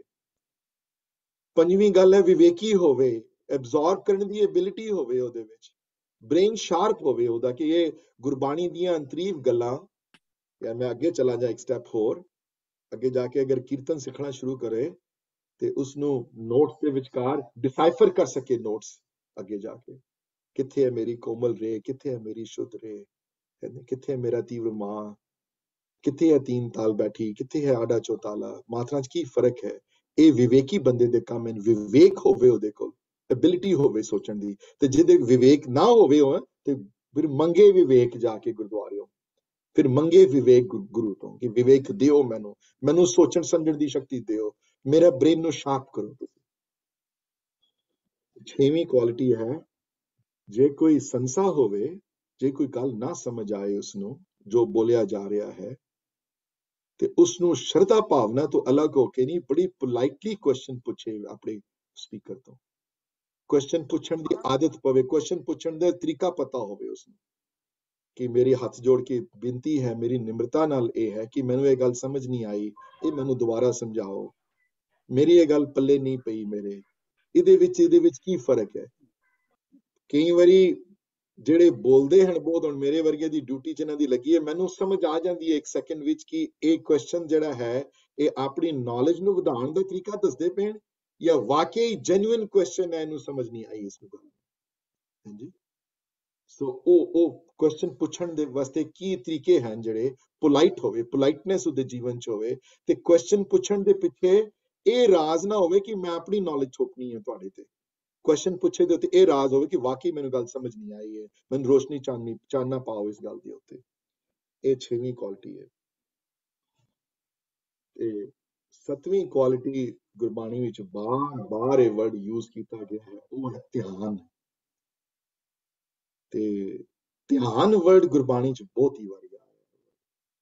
ਧਿਆਨ ਦੇ ਅਗਰ ਇੰਗਲਿਸ਼ ਕਰਾਂ ਤੇ ਕਨਸੈਂਟਰੇਸ਼ਨ ਜਾਂ ਸੁਪਰ ਅਟੈਂਟਿਵ ਹੋਵੇ ਇਹ ਵੀ ਤੁਹਾਡੀ ਬਸ ਨਹੀਂ ਹੈ ਕਈਆਂ ਦਾ ਧਿਆਨ 30 ਸੈਕਿੰਡਸ ਹੈ ਕਈਆਂ ਦਾ ਧਿਆਨ 1 ਮਿੰਟ ਦਾ ਕਈਆਂ ਦਾ ਧਿਆਨ 2 ਮਿੰਟ ਦਾ ਕਈਆਂ ਦਾ ਧਿਆਨ 3 ਮਿੰਟ ਦਾ ਇਸੇ ਵਾਸਤੇ ਸਵੇਰੇ ਉੱਠ ਕੇ ਅੰਮ੍ਰਿਤ ਵੇਲੇ ਉੱਠ ਕੇ ਜਿਹੜੀ ਜਿਹੜੀ ਇਹ 5 10 ਮਿੰਟ 15 ਮਿੰਟ 20 ਮਿੰਟ 25 ਮਿੰਟ ਜਿਹੜੀ ਤੁਸੀਂ ਕਰਨੀ ਹੈ ਜਿਹੜੀ, ਜਿਹੜੇ ਮਰਜ਼ੀ ਵਰਡ ਉਸ ਨੂੰ ਕਹਿ ਲਓ, ਸਿਮਰਨ ਕਰਨਾ ਹੈ ਮੈਡੀਟੇਸ਼ਨ ਕਰਨੀ ਹੈ, ਆਪਣੇ ਆਪ ਨੂੰ ਅਲੱਗ ਹੋ ਕੇ ਉਸ ਪ੍ਰਮਾਤਮਾ ਬਾਰੇ ਸੋਚਣਾ ਇਹਦੇ ਨਾਲ ਧਿਆਨ ਦੇ ਵਿੱਚ ਬੜਾ ਵੱਡਾ ਫ਼ਰਕ ਆਉਂਦਾ ਹੈ। Ability to think ability to concentrate concentration ਤੁਹਾਡੀ ਵੱਧਦੀ ਹੈ। ਤੇ ਛੇਵੀਂ, ਸਤਵੀਂ ਕੁਆਲਿਟੀ ਹੈ ਕਿ ਧਿਆਨ ਵਾਲਾ ਹੋਵੇ ਐਬਿਲਿਟੀ ਹੋਵੇ ਕਨਸੈਂਟਰੇਟ ਕਰਨ ਦੀ ਉਹਦੇ ਵਿੱਚ। ਐਬਿਲਿਟੀ ਹੋਵੇ ਜੇ 1 ਘੰਟਾ ਕੋਈ ਕੰਪਲੈਕਸ ਜਪਜੀ ਦੀ ਡਿਸਕਸ਼ਨ ਹੋ ਰਹੀ ਹੋਵੇ ਜਾਂ ਅਸਾ ਦੀ ਵਾਰ ਤੇ ਕੁਝ ਬੋਲਿਆ ਜਾ ਰਿਹਾ ਹੋਵੇ ਜਾਂ ਕਲਿਆਣ ਤੇ ਬਿਲਾਵਲ ਦੇ ਮਤਲਬ ਸਮਝਾਏ ਜਾ ਰਹੇ ਹੋਣ ਤੇ ਉਹਦੇ ਵਿੱਚ ਐਬਿਲਿਟੀ ਹੋਵੇ ਕਨਸੈਂਟਰੇਟ ਕਰਨ ਦੀ, ਕਿ ਉਹ ਘੰਟਾ ਜਾਂ ਅੱਧਾ ਘੰਟਾ ਜਾਂ 15 ਮਿੰਟ ਕਨਸੈਂਟਰੇਟ ਕਰ ਸਕੇ ਉਹਦੇ ਉਹਦੇ। ਇਹ ਨਾ ਹੋਵੇ ਕਿ ਖਿੰਨ ਉਹਦੇ ਵਿਚਾਰ ਹੋਣ ਕਦੀ ਦਿਮਾਗ ਤੇ ਜਾ ਰਿਹਾ, ਕਦੀ ਦਿਮਾਗ, ਅਗਰ ਖਿੰਨ ਖਿੰਡਿਆ ਜਾ ਰਿਹਾ ਬੰਦਾ, ਤੇ ਫਿਰ ਅਰਦਾਸ ਕਰੇ ਕਿ ਮੇਰਾ, ਮੈਨੂੰ ਖਿੰਡੋ ਨਾ ਤੁਸੀਂ, ਮੇਰੇ ਤੇ ਬਖਸ਼ਿਸ਼ ਕਰੋ। ਤੇ ਅੱਠਵੀਂ ਕੁਆਲਿਟੀ ਹੈ, ਉਹਦਾ ਪੋਸਚਰ ਬਿਲਕੁਲ ਠੀਕ ਹੋਵੇ। ਆਲਸ ਨਾ ਕਰੇ। ਇਹ ਨਹੀਂ ਕਿ ਬੰਦਾ ਬੋਲ ਰਿਹਾ ਹੋਵੇ ਜਪਜੀ ਦੇ ਉੱਤੇ ਤੇ ਪਿੱਛੋਂ ਆਵਾਜ਼ਾਂ ਕਿਧਰੇ ਘਰ ਵਾਲੀਆਂ ਵੀ ਆ ਰਹੀਆਂ ਹੋਣ, ਪਿੱਛੇ ਕੋਈ ਗੱਲਾਂ ਹੋਰ ਕੋਈ ਕਰ ਰਿਹਾ ਹੋਵੇ। ਇਹੋ ਜਿਹੇ ਸ਼ਰੋਤੇ ਪ੍ਰਮਾਣ ਨਹੀਂ ਹੋਏ। ਉਹ ਨਿਰਾਦਰ ਹੈ ਗੁਰਬਾਣੀ ਦਾ। ਸੁਣੋ ਹੀ ਨਾ, ਫਿਰ ਉਹ ਬੈਟਰ ਹੈ। ਗੁਰਦੁਆਰੇ ਜਾ ਕੇ ਜੇ ਤੁਸੀਂ ਜੇ ਤੁਸੀਂ ਆਪਣੀ ਸੈੱਲਫੋਨ ਦੇਖਣੀ ਹੈ ਗੁਰੂ ਗ੍ਰੰਥ ਸਾਹਿਬ ਮਹਾਰਾਜ ਦੇ ਸਾਹਮਣੇ ਚਲੋ ਕਈ ਵਾਰੀ ਐਮਰਜੈਂਸੀ ਹੁੰਦੀ ਹੈ ਇੱਕ ਸੈਕਿੰਡ ਵਾਸਤੇ ਦੇਖਣਾ ਪੈ ਜਾਂਦਾ ਹੋਰ ਗੱਲ ਹੈ ਪਰ ਜੇ ਉੱਥੇ ਹੀ ਰਹਿਣਾ ਤੁਸੀਂ ਜੇ ਤੁਹਾਡਾ ਦਿਮਾਗ ਫਿਰ ਉੱਥੇ ਜਾ ਕੇ ਕੀ ਖੱਟਿਆ ਤੁਸੀਂ ਕੁਝ ਨਹੀਂ ਖੱਟ ਪਾਏ ਉੱਥੇ ਹਾਂਜੀ ਉਸ ਤੋਂ ਬੈਟਰ ਹੈ ਫਿਰ ਆਪਣਾ ਅਲੱਗ ਕਰੋ ਕੰਮ ਜੋ ਕਰਨਾ ਹੈ ਤੁਸੀਂ ਕਿਉਂ ਦੂਸਰਿਆਂ ਦਾ ਧਿਆਨ ਵੀ ਚਲਾ ਜਾਂਦਾ ਤੁਹਾਡੇ ਵਿੱਚ ਤੁਸੀਂ ਜੋ ਕੁਝ ਕਰ ਰਹੇ ਹੋ ਦੂਸਰੇ ਵੀ ਉਧਰ ਉਧਰ ਚਲੇ ਜਾਂਦੇ ਨੇ ਸਾਰੇ ਤੇ ਆਲਸ ਨਾ ਕਰੇ ਪੋਸਚਰ ਠੀਕ ਰੱਖੇ ਆਪਣਾ ਸੁਪਰ ਅਟੈਂਟਿਵ ਹੋ ਕੇ ਸੁਣੇ ਤੇ ਗੁਰਬਾਣੀ ਚ ਬੜੀ ਬੜੀ ਇਸ ਗੱਲ ਤੇ ਆਏ ਨੇ ਵਰਡ ਕੀ ਸਾਵਧਾਨ ਇਕਾਗਰਚੀਤ ਆਏ ਨੇ ਵਰਡ ਸੁਖਵਨੀ ਵਿੱਚ ਵੀ। ਸਾਵਧਾਨ ਇਕਾਗਰਚੀਤ ਹੋਵੇ। ਤੇ ਸਾਵਧਾਨ ਕੀ ਹੁੰਦਾ? ਹੈ ਪੋਸਚਰ ਠੀਕ ਹੋਵੇ ਉਹਦਾ? ਸੁਣਨ ਵਾਲਾ ਹੋਵੇ। ਇਕਾਗਰਚੀਤ ਕੀ ਹੁੰਦਾ? ਹੈ ਅਟੈਂਟਿਵ ਹੋਵੇ ਉਹ ਬੰਦਾ। knowing quality now when i when i read this thing the first time maybe 40 years ago 30 years ago when i read it, ਮੈਨੂੰ ਨੌਵੀਂ ਕੁਆਲਿਟੀ ਦੇਖ ਕੇ ਤੇ ਮੈਂ ਤੇ ਹੱਥ ਹੀ ਜੁੜ ਗਏ ਮੇਰੇ, ਮੈਂ ਕਿਹਾ, ਹੈ ਮੇਰੇ ਦਾਤਾ, ਤੁਸੀਂ ਉਸ ਵੇਲੇ ਵੀ ਲੋਕ ਇਹੋ ਜਿਹੇ ਹੁੰਦੇ ਹੋਣਗੇ ਔਰ ਉਹ ਹੈ ਹੀ ਹਨ ਤੇ ਨੌਵੀਂ ਕੁਆਲਿਟੀ ਹੈ ਕਿ ਆਪਣੀ ਨੀਂਦ ਤੇ ਕਾਬੂ ਹੋਵੇ, ਆਪਣੀ ਸਲੀਪ ਤੇ ਕਾਬੂ ਹੋਵੇ। ਵਾਸੀਆਂ ਨਾ ਮਾਰਦਾ ਹੋਵੇ, ਗੁਰਬਾਣੀ ਦੀ ਕਥਾ ਚੱਲ ਰਹੀ ਹੋਵੇ ਤੇ ਉੱਥੇ ਉਂਘ ਰਿਹਾ ਹੋਵੇ ਉੱਥੇ। ਹਾਂਜੀ ਚੋਕ ਨੀਂਦ ਦੇ ਚੋਕੇ ਆ ਰਹੇ ਹੋਣ ਉਸ ਕੀਰਤਨ ਕਰ ਰਿਹਾ ਹੋਵੇ, ਕੀਰਤਨ ਸਿੱਖ ਰਿਹਾ ਹੋਵੇ, ਕੋਈ ਮਾਲੀ ਗੋੜਾ ਦੀਆਂ ਕੰਪਲੈਕਸ ਧੁਨਾ ਸਮਝਾ ਰਿਹਾ ਹੋਵੇ ਤੇ ਉਸ ਨੂੰ ਨੀਂਦ ਆ ਰਹੀ ਹੋਵੇ ਉਸ ਨੂੰ। ਉਹ ਨੀਂਦ ਦੇ ਚੌਕੇ ਲੈ ਰਿਹਾ ਹੋਵੇ। ਨੀਂਦ ਤੇ ਕਾਬੂ ਹੋਵੇ ਉਹਦਾ। ਭਾਵ ਸਵੇਰੇ ਟਾਈਮ ਸਿਰ ਉੱਠਣ ਦਾ ਤੇ ਸੌਣ ਦਾ ਉਹਦੇ ਵਿੱਚ ਖਮਤਾ ਹੋਵੇ ਕਿ ਮੈਂ ਉੱਠ ਕੇ ਜੋ ਕਰਦਾ ਪਿਆ, ਮੈਂ ਪੂਰੀ ਕਨਸੈਂਟਰੇਸ਼ਨ ਉਹਦੇ ਤੇ ਦੇ ਰਿਹਾ ਇਹਦੇ ਉੱਤੇ। ਨੀਂਦ ਤੇ ਕਾਬੂ ਹੋਵੇ। ਇਹ ਇਹ ਨੌਵੀਂ ਕੁਆਲਿਟੀ ਹੈ ਨਾਈਨਥ ਨਾਈਨਥ ਕੁਆਲਿਟੀ ਹੈ ਇਹਦੀ। ਤੇ ਦਸਵੀਂ ਕੁਆਲਿਟੀ ਦੇ ਵਿੱਚ ਤੁਸੀਂ ਕਹੋਗੇ ਕਿ ਪਹਿਲੀ ਕੁਆਲਿਟੀ ਨਾਲ ਥੋੜੇ ਰਿਲੇਸ਼ਨਸ਼ਿਪ ਮਿਲਦੇ ਹਨ। ਹਾਂ, ਮਿਲਦੇ ਹਨ, ਪਰ ਗੁਰੂ ਸਾਹਿਬ ਨੇ ਇੱਥੇ ਦਸਵੀਂ ਕੁਆਲਿਟੀ ਅਲੱਗ ਰੱਖੀ ਹੈ ਕਿ ਉਹ ਹੈ ਕਿ ਜੋ ਸੁਣਿਆ ਹੈ, ਜੋ ਜੋ ਸੁਣ ਰਿਹਾ ਹੈ ਉਸ ਨੂੰ ਆਪਣੇ ਹਿਰਦੇ ਵਿੱਚ ਧਾਰਨ ਕਰੇ ਉਸ ਨੂੰ ਐਕਸੈਪਟ ਕਰੇ ਜੋ ਸੁਣਿਆ ਹੈ ਉਸ ਨੂੰ ਤੇ ਜੇ ਸੁਣਿਆ ਹੈ, ਅੰਮ੍ਰਿਤ ਵੇਲਾ ਸਚ ਨਾਮ ਵਡਿਆਈ ਵਿਚਾਰ, ਤੇ ਵਿਰਫੋ ਫਿਰ ਉਹ ਵਡਿਆਈ ਵਿਚਾਰੇ ਉਸ ਨੂੰ ਅੰਮ੍ਰਿਤ ਵੇਲਾ ਨਾ ਕਰ ਸਕੇ ਸਵੇਰੇ ਕਿਸੇ ਕਾਰਨ ਵਸ਼ ਕਿਉਂਕਿ ਅੱਜ ਕੱਲ ਦੀ life is different and I fully understand that myself, i struggle with that. Sometimes you have early morning meetings sometimes to get up at 7 o'clock and leave home 6:30 ਨਹੀਂ ਹੋ ਸਕਦਾ ਕਈਆਂ ਕੋਲੋਂ ਫਿਰ ਕਿਸੇ ਵੀ ਟਾਈਮ ਕਰੇ ਲੇਕਿਨ ਕਰੇ ਜ਼ਰੂਰ ਹਾਂਜੀ ਤੇ ਜੇ ਲਿਖਿਆ ਹੈ ਹੁਕਮ ਰਜਾਈ ਚੱਲਣਾ ਤੇ ਫਿਰ ਆਪਣੀ ਰਜ਼ਾ ਵਿੱਚ ਆਪਣੀ ਲਾਈਫ ਸਟਾਈਲ ਨੂੰ ਦੇਖੇ ਕਿ ਮੇਰਾ ਲਾਈਫ ਸਟਾਈਲ ਗੁਰੂ ਵਾਲਾ ਹੈ ਕਿ ਨਹੀਂ ਮੈਂ ਅੱਜ ਦਿਨ ਚ ਕਿੰਨੀ ਵਾਰੀ ਝੂਠ ਬੋਲਿਆ ਮੈਂ ਅੱਜ ਦਿਨ ਚ ਕਿੰਨੀ ਵਾਰੀ ਕਿਸੇ ਦਾ ਨੁਕਸਾਨ ਪਹੁੰਚਾਇਆ ਮੈਂ ਕਿੰਨੀ ਵਾਰੀ ਮੇਰੇ ਮਨ 'ਚ ਇਹ ਖਿਆਲ ਬੁਰੇ ਕਿਸੇ ਮਨ ਵਿੱਚ ਆਏ ਹਨ। ਹਾਂਜੀ? ਮੈਂ ਕਿਤਨੀ ਵਾਰੀ ਮੇਰੇ ਮਨ ਵਿੱਚ ਕੋਈ ਮੇਰੇ ਸਾਹਮਣੇ ਜ਼ਰੂਰਤਮੰਦ ਆਇਆ ਤੇ ਮੇਰੇ ਉਸੇ ਮੇਰੇ ਮਨ 'ਚ ਆਇਨ ਵਿਚਾਰ ਕਿ ਮੈਂ ਉਹਦੀ ਜ਼ਰੂਰਤ ਪੂਰੀ ਕਰਾਂ, ਉਹਦੀ ਜਾਂ ਕੋਸ਼ਿਸ਼ ਕਰਾਂ ਜ਼ਰੂਰਤ ਪੂਰੀ ਕਰਨ ਦੀ। ਹਿਰਦੇ ਵਿੱਚ ਧਾਰੇ ਵਿਚਾਰ ਹੋ। ਤੇ 11ਵੀਂ ਕੁਆਲਿਟੀ ਤੇ ਸਿਰਫ ਗੁਰੂ ਨਾਨਕ ਹੀ ਲਿਖ ਸਕਦੇ ਹਨ। ਕਿਉਂਕਿ ਇਹ 11ਵੀਂ ਕੁਆਲਿਟੀ ਇਸ ਗੁਰੂ ਘਰ ਦਾ ਹੀ ਸੰਦੇਸ਼ ਹੈ। ਇਹ ਤੁਹਾਨੂੰ ਹੋਰ ਕਿਧਰੋਂ ਨਹੀਂ ਮਿਲੇਗਾ। ਹੈਰਾਨ ਹਾਂ ਪੜ ਕੇ ਸੂਰਜ ਪ੍ਰਕਾਸ਼ ਵਿੱਚ ਇਹ 11ਵੀਂ ਕੁਆਲਿਟੀ ਬੜੇ ਪਿਆਰ ਨਾਲ ਲਿਖੀ ਉਹਨਾਂ ਨੇ। ਉੱਥੇ ਲਿਖਿਆ ਕਿ ਵੰਡ ਕੇ ਖਾਵੇ ਫਿਰ। ਜੋ ਸੁਣਿਆ ਉਹ ਵੰਡ ਦੇਵੇ ਫੌਰਨ। ਆਪਣੇ ਕੋਲ ਨਾ ਰੱਖੀ। ਜੇ ਕੋਈ ਨੌਲੇਜ ਗ੍ਰਹਿਣ ਹੋਈ ਹੈ ਕਿਸੇ ਤੋਂ, ਸੰਗੀਤ ਦੀ ਹੋਈ ਹੈ, ਗੁਰਬਾਣੀ ਦੀ ਹੋਈ ਹੈ, ਕਿਸੇ ਵੀ ਤਰ੍ਹਾਂ ਦੀ ਨੌਲੇਜ ਗ੍ਰਹਿਣ ਹੋਈ ਹੈ ਉਸ ਨੂੰ ਵੰਡਣ ਦੀ ਕੋਸ਼ਿਸ਼ ਕਰੇ ਉਸ ਨੂੰ ਦੇ ਦੇਵੇ ਕਿਸੇ ਹੋਰ ਉਹਦਾ ਫਾਇਦਾ ਹੋਰ ਆਪਣੇ ਕੋਲ ਹੀ ਨਾ ਰੱਖ ਲੈ ਸਾਰਾ ਕੁਝ ਜੇ ਸੰਥਿਆ ਆਪ ਪੜ੍ਹੀ ਹੈ ਤੇ ਪੜ੍ਹ ਕੇ ਦੂਸਰਿਆਂ ਨੂੰ ਸਮਝਾਵੇ। ਜੇ ਗੁਰੂ ਨਾਨਕ ਚਮਤਕਾਰ ਦੇ ਦਰਸ਼ਨ ਤੁਹਾਨੂੰ ਹੋਏ ਹਨ, ਕਲਗੀ ਚਲਗੀ ਦਾ ਚਮਤਕਾਰ ਦੇ ਦਰਸ਼ਨ ਤੁਹਾਨੂੰ ਹੋਏ ਹਨ, ਉਹਦੇ, ਉਹਦੀ ਰੋਸ਼ਨੀ ਸਾਰਿਆਂ ਨੂੰ ਦਵੇ ਉਹਦੀ ਰੋਸ਼ਨੀ ਵਿੱਚ ਸਾਰਿਆਂ, ਉਹਦੀ ਰੋਸ਼ਨੀ ਸਭ ਨੂੰ ਦੇ ਸਕੇ ਤਾਂ ਕਿ ਸਾਰਿਆਂ ਨੂੰ ਉਹਦੀ ਨਿਗਤ, ਸਾਰਿਆਂ ਨੂੰ ਉਹਦੀ ਲਾ ਸਕੇ ਵੰਡ ਕੇ ਖਾਣ ਦੀ ਛਮਤਾ ਹੋਵੇ। ਇਹ 11th ਕੁਆਲਿਟੀ ਹੈ ਗੁੱਡ ਲਿਸਨਰ ਦੀ। ਤੇ 12ਵੀਂ ਕੁਆਲਿਟੀ ਹੈ ਕਿ ਅਗਰ ਸੁਣਨ ਵਾਸਤੇ ਆਇਆ ਹੈ ਕਿਧਰੇ ਤੇ ਧਾਵਣੇ ਵਿੱਚ ਨਾ ਆਵੇ ਧਾ ਕੇ ਨਾ ਆਵੇ, ਭਾਵ ਖਿੰਡਿਆ ਹੋਵਿਆ, ਮਨੇ ਇਹ ਵੀ ਕਰਨਾ ਉਹਨੇ ਉਹ ਵੀ ਕਰਨਾ ਉਹਨੇ ਇਹ ਵੀ ਕਰਨਾ ਉਹਨੇ ਬੀ ਵੀ ਕਰਨਾ ਉਹਨੇ ਸੀ ਵੀ ਕਰਨਾ ਉਹਨੇ ਡੀ ਵੀ ਕਰਨਾ ਉਹਨੇ ਈ ਵੀ ਕਰਨਾ ਤੇ ਬਾਰ-ਬਾਰ ਘੜੀ ਦੇਖਿਆ ਹੋ, ਮੈਂ ਵੀ ਕਰਨਾ ਕੰਮ, ਮੇਰਾ ਕੰਮ ਬਾਕੀ ਹੈ, ਮੇਰਾ ਉਹ ਕੰਮ। ਧਾਵਣੇ ਵਾਲਾ ਜਿਹੜਾ ਹੁੰਦਾ, ਜਿਹਦੇ ਮਨ ਚ, ਜਿਹਦੇ ਜੀਵਨ ਚ ਬੜੀ ਧਾਵਣਾ ਹੈ, ਬੜੀ। ਯੂ نو ਬੜੀ ਬੜੀ ਉਲਝਣਾ ਹੈ, ਬੜੀਆਂ ਧਾਵਨਾ ਹੈ ਧਾਵਨਾ ਵਾਲਾ ਬੰਦਾ ਪ੍ਰਮਾਤਮਾ ਦੇ ਰਸਤੇ ਚੱਲਣਾ ਬੜਾ ਮੁਸ਼ਕਿਲ ਹੈ। ਧਾਵਨਾ ਨਾ ਹੋਵੇ ਧਾਵਨਾ ਕਰਕੇ ਸੁਣਨ ਨਾ ਆਵੇ। ਜੇ ਧਾਵਨਾ ਕਰਕੇ ਸੁਣਨ ਆਏਗਾ ਤੇ ਉਹਦਾ ਮਨ ਬਾਰ-ਬਾਰ ਦੌੜੇਗਾ ਇੱਧਰ ਉੱਧਰ, ਕਿਉਂਕਿ ਉਹਦੇ ਮਨ ਚ ਬਾਦਰ ਕਰੇਗਾ ਉਸ ਨੂੰ ਇਹ ਵੀ ਕਰਨਾ ਹੈ, ਮੈਂ ਬਾਅਦ 'ਚ ਕੰਮ, ਉਹ ਵੀ ਕਰਨਾ ਹੈ, ਆਪਣੀਆਂ ਨੀਡਸ ਔਰ ਵਾਂਟ ਨੂੰ ਘਟਾਵੇ। ਤੇ ਦੇਖੇ ਵੀ ਕਿਹੜੀਆਂ ਇੰਪੋਰਟੈਂਟ ਨੀਡਸ ਐਂਡ ਵਾਂਟ ਹਨ ਮੇਰੀਆਂ, ਇਹ ਮੇਰੀਆਂ ਵਾਂਟ ਹਨ ਕਿ ਮੇਰੀਆਂ ਨੀਡਸ ਹਨ। ਤੇ ਜੇ ਕੋਈ ਚੀਜ਼ ਦਾ ਬੰਦਾ ਨਹੀਂ ਲਾ ਸਕਦਾ ਜਾਂ ਉਸ ਨੂੰ ਪ੍ਰਮਾਤਮਾ ਨੇ ਉਹ ਫਾਈਨੈਂਸ਼ੀਅਲ ਐਬਿਲਿਟੀ ਨਹੀਂ ਦਿੱਤੀ ਲੈਣ ਦੀ, ਤੇ ਜੋ ਮਿਲਿਆ ਹੈ ਉਹਦੇ ਵਿੱਚ ਖੁਸ਼ ਰਵੇ ਉਹ। ਜੋ ਮਿਲਿਆ ਹੈ ਉਹਦੇ ਵਿੱਚ ਦਾਤ ਵਿੱਚ ਖੁਸ਼ ਰਵੇ, ਤਾਵਣਾ ਘੱਟ ਰੱਖੇ ਆਪਣੇ ਚ। ਸੰਤੋਖੀ ਉਹਦੇ ਸੰਤੋਖੀ ਸਾਰੇ ਰਹਿ ਨਹੀਂ ਸਕਦੇ। ਕਈਆਂ ਦੇ ਮਨ ਸੰਤੋਖ ਨਹੀਂ ਹੈ। ਕਈਆਂ ਦੇ ਵਿੱਚ, ਕਈਆਂ ਵਿੱਚ ਹੋਰ ਲੈਣ ਦੀ ਲਾਲਸਾ ਜ਼ਿੰਦਗੀ ਵਿੱਚ ਬਹੁਤ ਜ਼ਿਆਦਾ ਹੈ ਕਈਆਂ ਦੇ। ਹੈਪੀ ਨਹੀਂ ਹੈ ਉਹ ਆਪਣੀ ਲਾਈਫ ਵਿੱਚ। ਕਦੀ ਹੈਨ ਕਦੀ ਨਹੀਂ ਹੈ ਕਦੀ ਇਹ ਚੀਜ਼ ਲੈਣੀ ਹੈ ਉਹ ਵੀ ਚੀਜ਼ ਲੈਣੀ ਹੈ ਇਹ ਵੀ ਚੀਜ਼ ਕਰਨੀ ਹੈ ਮੈਨੂੰ ਸੰਤੋਖ ਲੈ ਕੇ ਆਣਾ ਆਪਣੀ ਲਾਈਫ ਵਿੱਚ ਤੇ ਧਾਵਨਾ ਨਾ ਹੋਣ ਦੇ ਕਾਰਨ ਬੈਟਰ ਲਿਸਨਰ ਬਣਿਆ ਜਾ ਸਕਦਾ ਹੈ Wait, I, I have a question on that one. I'm a Anji. little con- I'm a little confused. Do you mean like during the actual when you're listening, like it's focused on not? Because I know for me sometimes like for people that are busy, you're always thinking, oh, in an hour I have to do this, in two hours.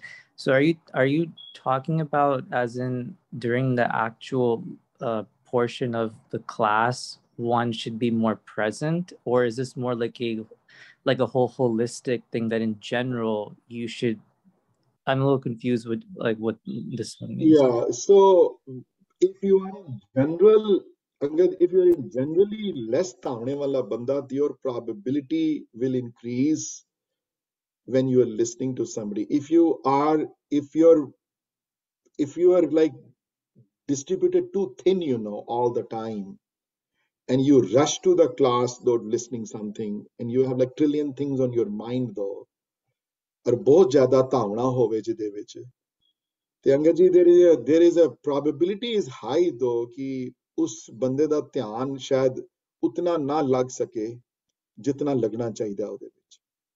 ਸੋ ਕੋਸ਼ਿਸ਼ ਕਰੇ ਬੰਦਾ ਕਿ ਉਤਨੀਆਂ ਚੀਜ਼ਾਂ ਕਰੇ ਜਿਤਨੀਆਂ ਉਹ ਕਰਨ ਸਮਰੱਥ ਹੈ ਯੂ نو ਜ਼ਿਆਦਾ ਭਾਰ ਲੈਣਾ ਆਪਣੇ ਸਿਰ ਦੇ ਉੱਤੇ, ਕਈ ਵਾਰੀ ਮੈਂ ਵੀ ਕਰਦਾ ਹਾਂ I am also guilty of that ਲੇਕਿਨ ਜੇ ਲਿੱਤਾ ਹੈ ਭਾਰ ਜ਼ਿਆਦਾ ਤੇ ਭਾਰ ਘਟਾਏ ਆਪਣਾ, ਤੇ ਜਦੋਂ ਕੋਈ ਸੁਣਨ ਆਏ specially ਪਰ Angad make sure that we one thing is very clear we are not talking about listening in a classroom setting listening to some lecture in a in your undergraduate school or graduate school or some ਉੱਥੇ ਵੀ ਬੜੇ important ਹੈ ਧਿਆਨ ਪਰ spiritual ਰਸਤੇ ਵਿੱਚ ਜਦੋਂ ਧਾਵਨਾ ਜਿਹੜੀ ਹੈ ਉਹ ਡਿਸਕਰੇਜ ਕੀਤੀ ਗਈ ਹੈ ਬਹੁਤ ਕਿਉਂਕਿ ਧਾਵਨਾ ਕਈ ਵਾਰੀ ਬੰਧਨ ਬਣ ਜਾਂਦੀ ਹੈ to the answer your question yes in both fields i mean while while you are listening to somebody and in general life ਵਿੱਚ ਘੱਟ ਧਾਵਣੇ ਵਾਲੇ ਬੰਦੇ ਦੀ ਪ੍ਰੋਬੇਬਿਲਿਟੀ ਜ਼ਿਆਦਾ ਹੁੰਦੀ ਹੈ ਟੂ ਕਨਸੈਂਟਰੇਟ ਯੂ نو ਬਹੁਤ ਖਿੰਡਾਓ ਜਿਹਦੇ ਚ ਹੋਵੇ ਬਹੁਤ ਜ਼ਿਆਦਾ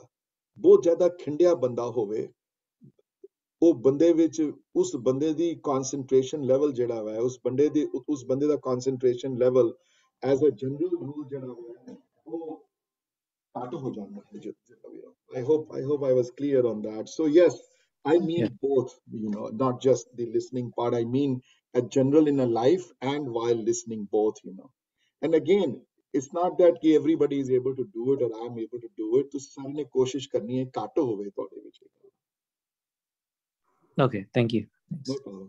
13th ਜਿਹੜੀ ਹੈ ਕੁਆਲਿਟੀ ਉਹ ਇਹ ਹੈ ਕਿ ਤਨ ਦੀ ਸੁਚਮਤਾ ਜ਼ਰੂਰ ਰੱਖੇ you know ਸਰੀਰ ਨੂੰ ਆਪਣੇ ਸਾਫ਼ ਰੱਖੇ ਬੋਲਣ ਵਾਲਾ ਸੁਣਨ ਵਾਲਾ ਹੈ ਨਾ ਇਹ ਨਾ ਹੋਏ ਕਿ ਗੁਰਦੁਆਰੇ ਆਏ ਜਾਂ ਸੁਣਨ ਕਿਧਰੇ ਆਏ ਤੇ ਉਹੀ ਨਾ ਚੇਂਜ ਕੀਤਾ ਹੋਵੇ ਨਾ ਕੁਝ ਯੂ نو ਬਣੇ ਉਂਝੇ ਹੀ ਸਰੀਰ ਦੀ ਸੁਚਮਤਾ ਵੀ ਬੜੀ ਇੰਪੋਰਟੈਂਟ ਹੈ ਸਰੀਰ ਨੂੰ ਸਰੀਰ ਨੂੰ ਸ- ਆਪਣੇ ਸਵਾ ਕੇ ਰੱਖਣਾ ਕਿਉਂਕਿ ਬਾਡੀ ਟੈਂਪਲ ਨੂੰ ਮੰਨਿਆ ਗਿਆ ਹੈ ਯੂ نو ਥੋੜਾ ਜਿਹਾ ਬਾਣੀ ਪੜ੍ਹ ਕੇ ਦੇਖੋ ਤਾਂ ਬਾਡੀ ਦੀ ਬਾਡੀ ਦੀ ਤੁਹਾਨੂੰ ਪਤਾ ਲੱਗੇਗੀ ਕੀ ਹੈ importance you know Guru Ramdas ਪਾਸ਼ਾ ਜੀ ਨੇ ਉੱਥੇ ਕਿੰਨੀ ਇੰਪੋਰਟੈਂਟ ਦਿੱਤੀ ਹੈ ਤਨ ਨੂੰ ਕਿੰਨੀ ਇੰਪੋਰਟੈਂਟ ਦਿੱਤੀ ਹੈ ਯੂ نو ਕਿਉਂਕਿ ਇਸ ਤਨ ਦੇ ਵਿੱਚ ਸਾਰਾ ਕੁਝ ਚੱਲਣਾ ਹੈ ਇਹਦੇ ਵਿੱਚ ਤੇ ਇਸ ਤਨ ਦੀ ਸੰਭਾਲ ਹੋਵੇ, ਇਸ ਤਨ ਤਨ ਤਨ ਦੀ ਸੁਚਮਤਾ ਹੋਵੇ, ਉੱਥੇ ਸੁਚਮਤਾ ਬਣ ਕੇ ਨਾ ਆਏ ਉੱਥੇ। ਤੇ 14ਵੀਂ ਕੁਆਲਿਟੀ ਹੈ ਕਿ ਪਖੰਡੀ ਤੇ ਬਿਲਕੁਲ ਹੀ ਨਾ ਹੋਵੇ ਨਾ। ਇੱਥੇ ਬਣੇ ਇੱਥੇ ਸੁਣ ਕੇ, ਸੁਣੇ ਕੁਐਸਚਨ ਇਸ ਤਰ੍ਹਾਂ ਪੁੱਛੇ ਕਿ ਬੜਾ ਵੱਡਾ ਧਰਮੀ ਹੈ ਜਿਸ ਤਰ੍ਹਾਂ। ਕੁਐਸਚਨ ਇਸ ਤਰ੍ਹਾਂ ਪੁੱਛੇ ਕਿ ਪ੍ਰਮਾਤਮਾ ਨਾਲ ਬੜਾ ਪਿਆਰ ਕਰਨ ਵਾਲਾ ਹੈ। ਵੈਰਾਗੀ ਇਸ ਤਰ੍ਹਾਂ ਹੋਵੇ ਕਿ ਪਿਰ- ਬੜਾ ਬੜਾ ਪ੍ਰੇਮ ਕਰਨ ਵਾਲਾ ਹੋਵੇ ਤੇ ਅੰਦਰ ਕੁਝ ਨਾ ਹੋਵੇ। ਅੰਦਰ ਕੱਖ ਨਾ ਹੋਵੇ ਉਹਦੇ। ਇਹ ਬੰਦਾ ਜਾਣਦਾ ਹੈ, ਜਿਹੜੇ ਸੁਣਦੇ ਹਨ ਉਹਨੂੰ, ਉਹ ਬੰਦਾ ਜਾਣਦਾ ਹੈ। ਉਹ ਜਾਣਦੇ ਹਨ ਕਿ ਕੌਣ ਕੀ ਕਰਨ, ਕਰਾਉਣ ਵਾਲਾ ਹੈ। ਲੇਕਿਨ ਕਈ ਪਖੰਡ ਹੁੰਦਾ ਕਈਆਂ ਕਈਆਂ ਚ ਕਈਆਂ ਚ ਹੁੰਦਾ ਤੇ ਜਿਹੜੇ ਜਿਨ੍ਹਾਂ ਚ ਪਖੰਡ ਹੁੰਦਾ ਹੈ, ਉਹ ਅਨਫੋਰਚੂਨੇਟਲੀ ਬਹੁਤੀ ਦੇਰ ਰਹਿ ਨਹੀਂ ਸਕਦੇ। ਪਖੰਡ ਬਹੁਤੀ ਦੇਰ ਚੱਲਦਾ ਨਹੀਂ ਹੁੰਦਾ। ਕਿਉਂਕਿ ਦੇਖੋ ਇਸ ਸਪਿਰਚੁਅਲ ਰੂਮ ਵਿੱਚ ਪਖੰਡ ਜਿਹੜਾ ਹੈ ਕਿਸੇ ਹੱਦ ਤੱਕ ਪਛਾਣਿਆ ਜਾਂਦਾ ਬੰਦਾ ਉਹ। ਉਹ ਮੈਨੂੰ ਸੁਖਮਨੀ ਦੀ ਇੱਕ ਲਾਈਨ ਆਂਦੀ ਹੈ ਕਿ ਹਰ ਕਾ ਭਗਤ ਪ੍ਰਗਟ ਨਹੀਂ ਛਪੈ। ਹਰ ਕਾ ਭਗਤ ਪ੍ਰਗਟ ਨਹੀਂ ਛਪੈ ਕਿਉਂਕਿ ਪਖੰਡ ਕਿਸੇ ਹੱਦ ਤੱਕ ਤੁਸੀਂ ਕਰ ਸਕਦੇ ਹੋ ਪਖੰਡ। ਕਿਸੇ ਹੱਦ ਤੱਕ ਪ੍ਰਟੈਂਡ ਕਰ ਸਕਦੇ ਹੋ। ਕਿਸੇ ਹੱਦ ਤੱਕ ਦੱਸ ਸਕਦੇ ਹੋ ਲੋਕਾਂ ਨੂੰ, ਲੇਕਿਨ ਉਹ ਤੇ ਜਾਣੂ ਹੈ ਨਾ ਸਭ ਤੋਂ। ਉੱਥੋਂ ਕਿੱਥੋਂ ਪਖੰਡ ਕਰੋਗੇ, ਕਿੱਥੇ ਪਛਾਣੋਗੇ ਉਸ ਨੂੰ ਤੇ ਕਿੱਥੇ ਤੱਕ ਆਪਣੇ ਆਪ ਨੂੰ ਝੂਠ ਦਾ ਦਿਲਾਸਾ ਦਿੰਦੇ ਰਹੋਗੇ? ਕਿੱਥੇ ਤੱਕ ਆਪਣੇ ਆਪ ਨੂੰ ਸਮਝਾਉਂਦੇ ਰਹੋਗੇ ਮੈਂ ਭਗਤ ਆ ਪਰ ਭਗਤੀ ਤੁਸੀਂ ਕੀਤੀ ਨਹੀਂ ਕਦੀ? ਸੋ ਪਖੰਡ ਜਿਹੜਾ ਵਾ, ਉਹ ਉਹ ਮਾੜਾ ਹੈ ਬੜਾ। ਉਹ ਬੈਟਰ ਹਨ ਬੰਦੇ ਜਿਹੜੇ ਆਪਣੇ ਆਪ ਨੂੰ ਐਕਸੈਪਟ ਕਰ ਲੈਂਦੇ ਹਨ ਕਿ ਅਸੀਂ ਨਹੀਂ ਆ ਸਾਡੇ 'ਚ ਇਹ ਖਮਤਾ ਨਹੀਂ ਹੈ, ਅਸੀਂ ਬਣਨਾ ਹੈ ਉਹਨਾਂ ਦਿਨੋਂ ਐਸ ਅਪੋਜ਼ਡ ਟੂ ਦੋਸ ਜਿਹੜੇ ਨਹੀਂ ਹੈ ਪਰ ਆਪਣੇ ਆਪ ਨੂੰ ਖਾਂਦੇ ਹਨ ਕਿ ਅਸੀਂ ਹਾਂ ਯੂ نو ਪਖੰਡੀ ਨਾ ਹੋਵੇ। ਇਹ ਲਾਸਟ ਕੁਆਲਿਟੀ ਜਿਹੜੀ ਹੈ, ਸੂਰਜ ਪ੍ਰਕਾਸ਼ ਵਿੱਚ ਦਰਜ ਹੈ। ਐਜ਼ ਅ ਸ਼ਰੋਤਾ ਤੇ ਜਸਟ ਟੂ ਟੈਲ ਯੂ ਕਿ ਅੱਗੇ ਕਥਾ ਇਹ ਕੰਟੀਨਿਊ ਹੁੰਦੀ ਹੈ ਤਿੰਨ ਸਫੇ ਹੋਰ ਹਨ ਤਿੰਨ ਪੇजेस ਵਿੱਚ ਹੋਰ ਇਹ ਕਥਾ ਕੰਟੀਨਿਊ ਹੁੰਦੀ ਹੈ। ਥੋੜੇ ਕੁਐਸਚਨ ਆਨਸਰ ਹੋਰ ਪੁੱਛਦੇ ਨੇ ਸਿੱਖੋ ਵਾਲੇ। ਤੇ ਇੱਥੇ ਅੰਮ੍ਰਿਤਸਰ ਜਾਣ ਦੀ ਤਾਕੀਦ ਵੀ ਹੈ ਇਸ ਇਸ ਸਾਖੀ ਵਿੱਚ ਕਿ ਦਰਬਾਰ ਸਾਹਿਬ ਜਾ ਕੇ ਉੱਥੇ, ਜਾਣ ਤੇ ਉੱਥੇ ਨਾਮਦਾਨ ਇਸ਼ਨਾਨ ਬਾਰੇ ਤੇ ਹਾਲਾਂਕਿ ਤੀਰਥਾਂ ਦਾ ਕੋਈ ਵੱਡੀ ਕੋਈ ਇੰਪੋਰਟੈਂਸ ਮੰਨੀ ਨਹੀਂ ਗਈ ਹੈ, ਪਰ ਤੀਰਥਾਂ ਦੀ ਇੰਪੋਰਟੈਂਸ ਨੂੰ ਮੈਂ ਇਹ ਗੱਲ ਕਹਦਾ ਕਿ ਤੀਰਥਾਂ ਤੇ ਜਾਣ ਦੀ ਮਨਾਹੀ ਨਹੀਂ ਕੀਤੀ ਗਈ ਗੁਰਮਤ ਵਿੱਚ। ਮੈਂ ਇੱਥੇ ਗੱਲ ਕਲੈਰਿਟੀ ਕਰਦੇ ਹਾਂ ਕਈ ਲੋਕ ਗਲਤ ਮੀਨਿੰਗ ਨਿਕਾਲ ਲੈਂਦੇ ਹਨ, ਤੀਰਥ ਨਾਮਣ ਜਾਓ ਯੂ نو ਤੀਰਥ ਨਾਮ ਹੈ। ਇਹਦਾ ਮਤਲਬ ਇਹ ਨਹੀਂ ਹੈ ਕਿ ਤੀਰਥਾਂ ਤੇ ਨਹੀਂ ਜਾਣਾ। ਇਹਦਾ ਮਤਲਬ ਇਹ ਨਹੀਂ ਹੈ ਕਿ ਦਰਬਾਰ ਸਾਹਿਬ ਜਾ ਕੇ ਇਸ਼ਨਾਨ ਨਹੀਂ ਕਰਨੇ। ਇਹਦਾ ਮਤਲਬ ਇਹ ਨਹੀਂ ਹੈ ਕਿ ਤੁਸੀਂ ਦਿੱਲੀ ਜਾਓ ਤਾਂ ਬੰਗਲਾ ਸਾਹਿਬ ਜਾਓ ਨਾ ਜਾਂ ਸੀਸਗੰਜ ਸਾਹਿਬ ਜਾ ਕੇ ਦਰਸ਼ਨ ਨਾ ਕਰੋ। ਇਹਦਾ ਮਤਲਬ ਇਹ, ਇਹਦਾ ਮਤਲਬ ਇਹ ਹੈ ਕਿ ਸਿਰਫ ਬੰਗਲਾ ਸਾਹਿਬ ਜਾਣ ਨਾਲ ਜਾਂ ਜਾਣ ਨਾਲ ਮੁਕਤੀ ਨਹੀਂ ਹੈ। ਸਿਰਫ ਦਰਬਾਰ ਸਾਹਿਬ ਮੱਥਾ ਟੇਕਣ ਨਾਲ ਮੁਕਤੀ ਨਹੀਂ ਹੈ। ਪਰ ਇੱਥੇ ਡਿਸਕਰੇਜਮੈਂਟ ਨਹੀਂ ਕੀਤੀ ਗਈ। ਉੱਥੇ ਜਾਣ ਨਾਲ ਅੱਛੀਆਂ ਭਾਵਨਾ ਤੁਹਾਡੇ 'ਚ ਪੈਦਾ ਹੋਵਣ, ਉੱਥੇ ਜਾਣ ਨਾਲ ਸਤਸੰਗ ਹੋਵੇ ਤੁਹਾਡਾ, ਉੱਥੇ ਜਾ ਕੇ ਕੀਰਤਨ ਸੁਣ ਕੇ ਤੁਹਾਡੇ ਮਨ ਵਿੱਚ ਰੋਜ਼ ਆ ਕੇ ਪ੍ਰਮਾਤਮਾ ਮਿਲਣ ਦੀ, ਤੁਹਾਡੇ ਅੰਦਰ ਉਸ ਸਥਾਨ ਤੇ ਜਾ ਕੇ ਉਹ ਵਾਈਬ੍ਰੇਸ਼ਨ ਤੁਹਾਨੂੰ ਟੱਚ ਕਰਨ ਕਿ ਤੁਹਾਡੇ ਅੰਦਰ ਲੋ ਜਾਗੇ ਪ੍ਰਮਾਤਮਾ ਮਿਲਣ ਦੀ ਅੰਦਰੋਂ ਉਜਾਗਰ ਹੋਵੇ ਤੁਹਾਡੇ ਵਿੱਚ, ਉਹ ਹੈ ਇੰਪੋਰਟੈਂਟ ਚੀਜ਼। ਸੋ ਤੀਰਥਾਂ ਤੇ ਜਾਣੇ ਦੀ ਮਨਾਹੀ ਨਹੀਂ ਹੈ, ਪਰ ਤੀਰਥ ਇਨ ਇਟਸੈਲਫ ਐਂਡ ਹੈ, ਪਹੁੰਚਣ ਦਾ ਪ੍ਰਮਾਤਮਾ ਤੱਕ ਉਹ ਗੁਰਮਤ ਨਹੀਂ ਮੰਨਦੀ। I want to make sure ਕਿ we are the right page here you know ਹਾਂਜੀ। ਸੋ ਇੱਥੇ ਬੜੀਆਂ ਫਿਰ ਗੱਲਾਂ ਉਹਨਾਂ ਨੇ ਹੋਰ ਵੀ ਕੁਐਸਚਨ ਕੀਤੇ, ਬੜੇ ਗੁਰੂ ਨੂੰ, ਗੁਰੂ ਸਾਹਿਬ ਨੇ ਆਨਸਰ ਦਿੱਤੇ ਕੁਐਸਚਨ ਨੂੰ। ਤੇ ਉੱਥੇ ਫਿਰ ਅੰਮ੍ਰਿਤਸਰ ਜਾਣ ਦੀ ਇੱਕ ਤਾਂਗ ਹੋਵੇ, ਦਰਬਾਰ ਸਾਹਿਬ ਜਾਣ ਦੀ। ਤੇ ਇਹ ਤਾਂਗ ਦਰਬਾਰ ਸਾਹਿਬ ਜਾਣ ਦੀ ਤਾਂਗ ਜਿਹੜੀ ਹੈ, ਉਹ ਉੱਥੇ ਜਾਣ ਦੀ ਕੋਈ, ਉੱਥੇ ਕੋਈ ਕਿਸੇ ਗੁਰੂ ਦਾ ਜਨਮ ਨਹੀਂ ਹੋਇਆ ਕੋਈ ਉੱਥੇ ਅੰਦਰ, ਕੋਈ ਉੱਥੇ ਕੋਈ ਉੱਥੇ ਕੋਈ ਇਹ ਨਹੀਂ ਹੋਇਆ ਕਿ ਉੱਥੇ ਕਿਸੇ ਗੁਰੂ ਸਾਹਿਬ ਦਾ ਜਨਮ ਹੋਇਆ ਹੋਵੇ ਜਾਂ ਕਿਸੇ ਦੀ ਉੱਥੇ ਕੋਈ ਜੋਤੀ ਜੋ ਸਮਾਈ ਹੋਣ ਜਾਂ ਕਿਸੇ ਨੂੰ ਗੁਰਿਆਈ ਮਿਲੀ ਹੋਵੇ ਜਾਂ ਕੋਈ ਬਹੁਤ ਵੱਡੇ ਕਾਂਡ ਕੀਤੇ ਹੋਣ, ਉੱਥੇ ਇੱਕੋ ਹੀ ਚੀਜ਼ ਹੋਈ ਹੈ। ਉੱਥੇ ਸ਼ਬਦ ਗੁਰੂ ਪਹਿਲੀ ਵਾਰੀ ਪ੍ਰਗਟ ਹੋਏ। ਉੱਥੇ ਸ਼ਬਦ ਗੁਰੂ ਦਾ ਜਨਮ ਸਥਾਨ ਹੈ। ਉੱਥੇ ਸ਼ਬਦ ਗੁਰੂ ਨੂੰ ਪਹਿਲੀ ਵਾਰੀ ਸੰਸਾਰ ਦੇ ਸਾਹਮਣੇ ਰੱਖਿਆ ਗਿਆ। ਉਸ ਰੋਸ਼ਨੀ ਨੂੰ ਸਭ ਤੋਂ ਪਹਿਲੇ ਉੱਥੇ ਉਜਾਗਰ ਕੀਤਾ ਗਿਆ। ਉਸ ਜਗ੍ਹਾ ਦਾ ਮਹੱਤਵ ਇਸ ਵਾਸਤੇ ਹੈ ਕਿ ਇਹ ਜਿਹੜੀ ਨੌਲੇਜ ਤੇ 뮤직 ਦਾ ਘਰ ਹੈ ਚੜਾ ਵੱਡਾ, ਇਹ ਜਾਰੇ ਜੁਗੋ ਜੁਗੋ ਅਟਲ ਜਿਹੜੇ ਗੁਰੂ ਹਨ, ਇਹਦਾ ਪ੍ਰਕਾਸ਼ ਪਹਿਲੇ ਉੱਥੇ ਹੋਇਆ ਹੈ। ਇਹਦੀ ਰੋਸ਼ਨੀ ਪਹਿਲੇ ਸੰਸਾਰ ਨੂੰ ਉੱਥੋਂ ਸ਼ੁਰੂ ਹੋਈ।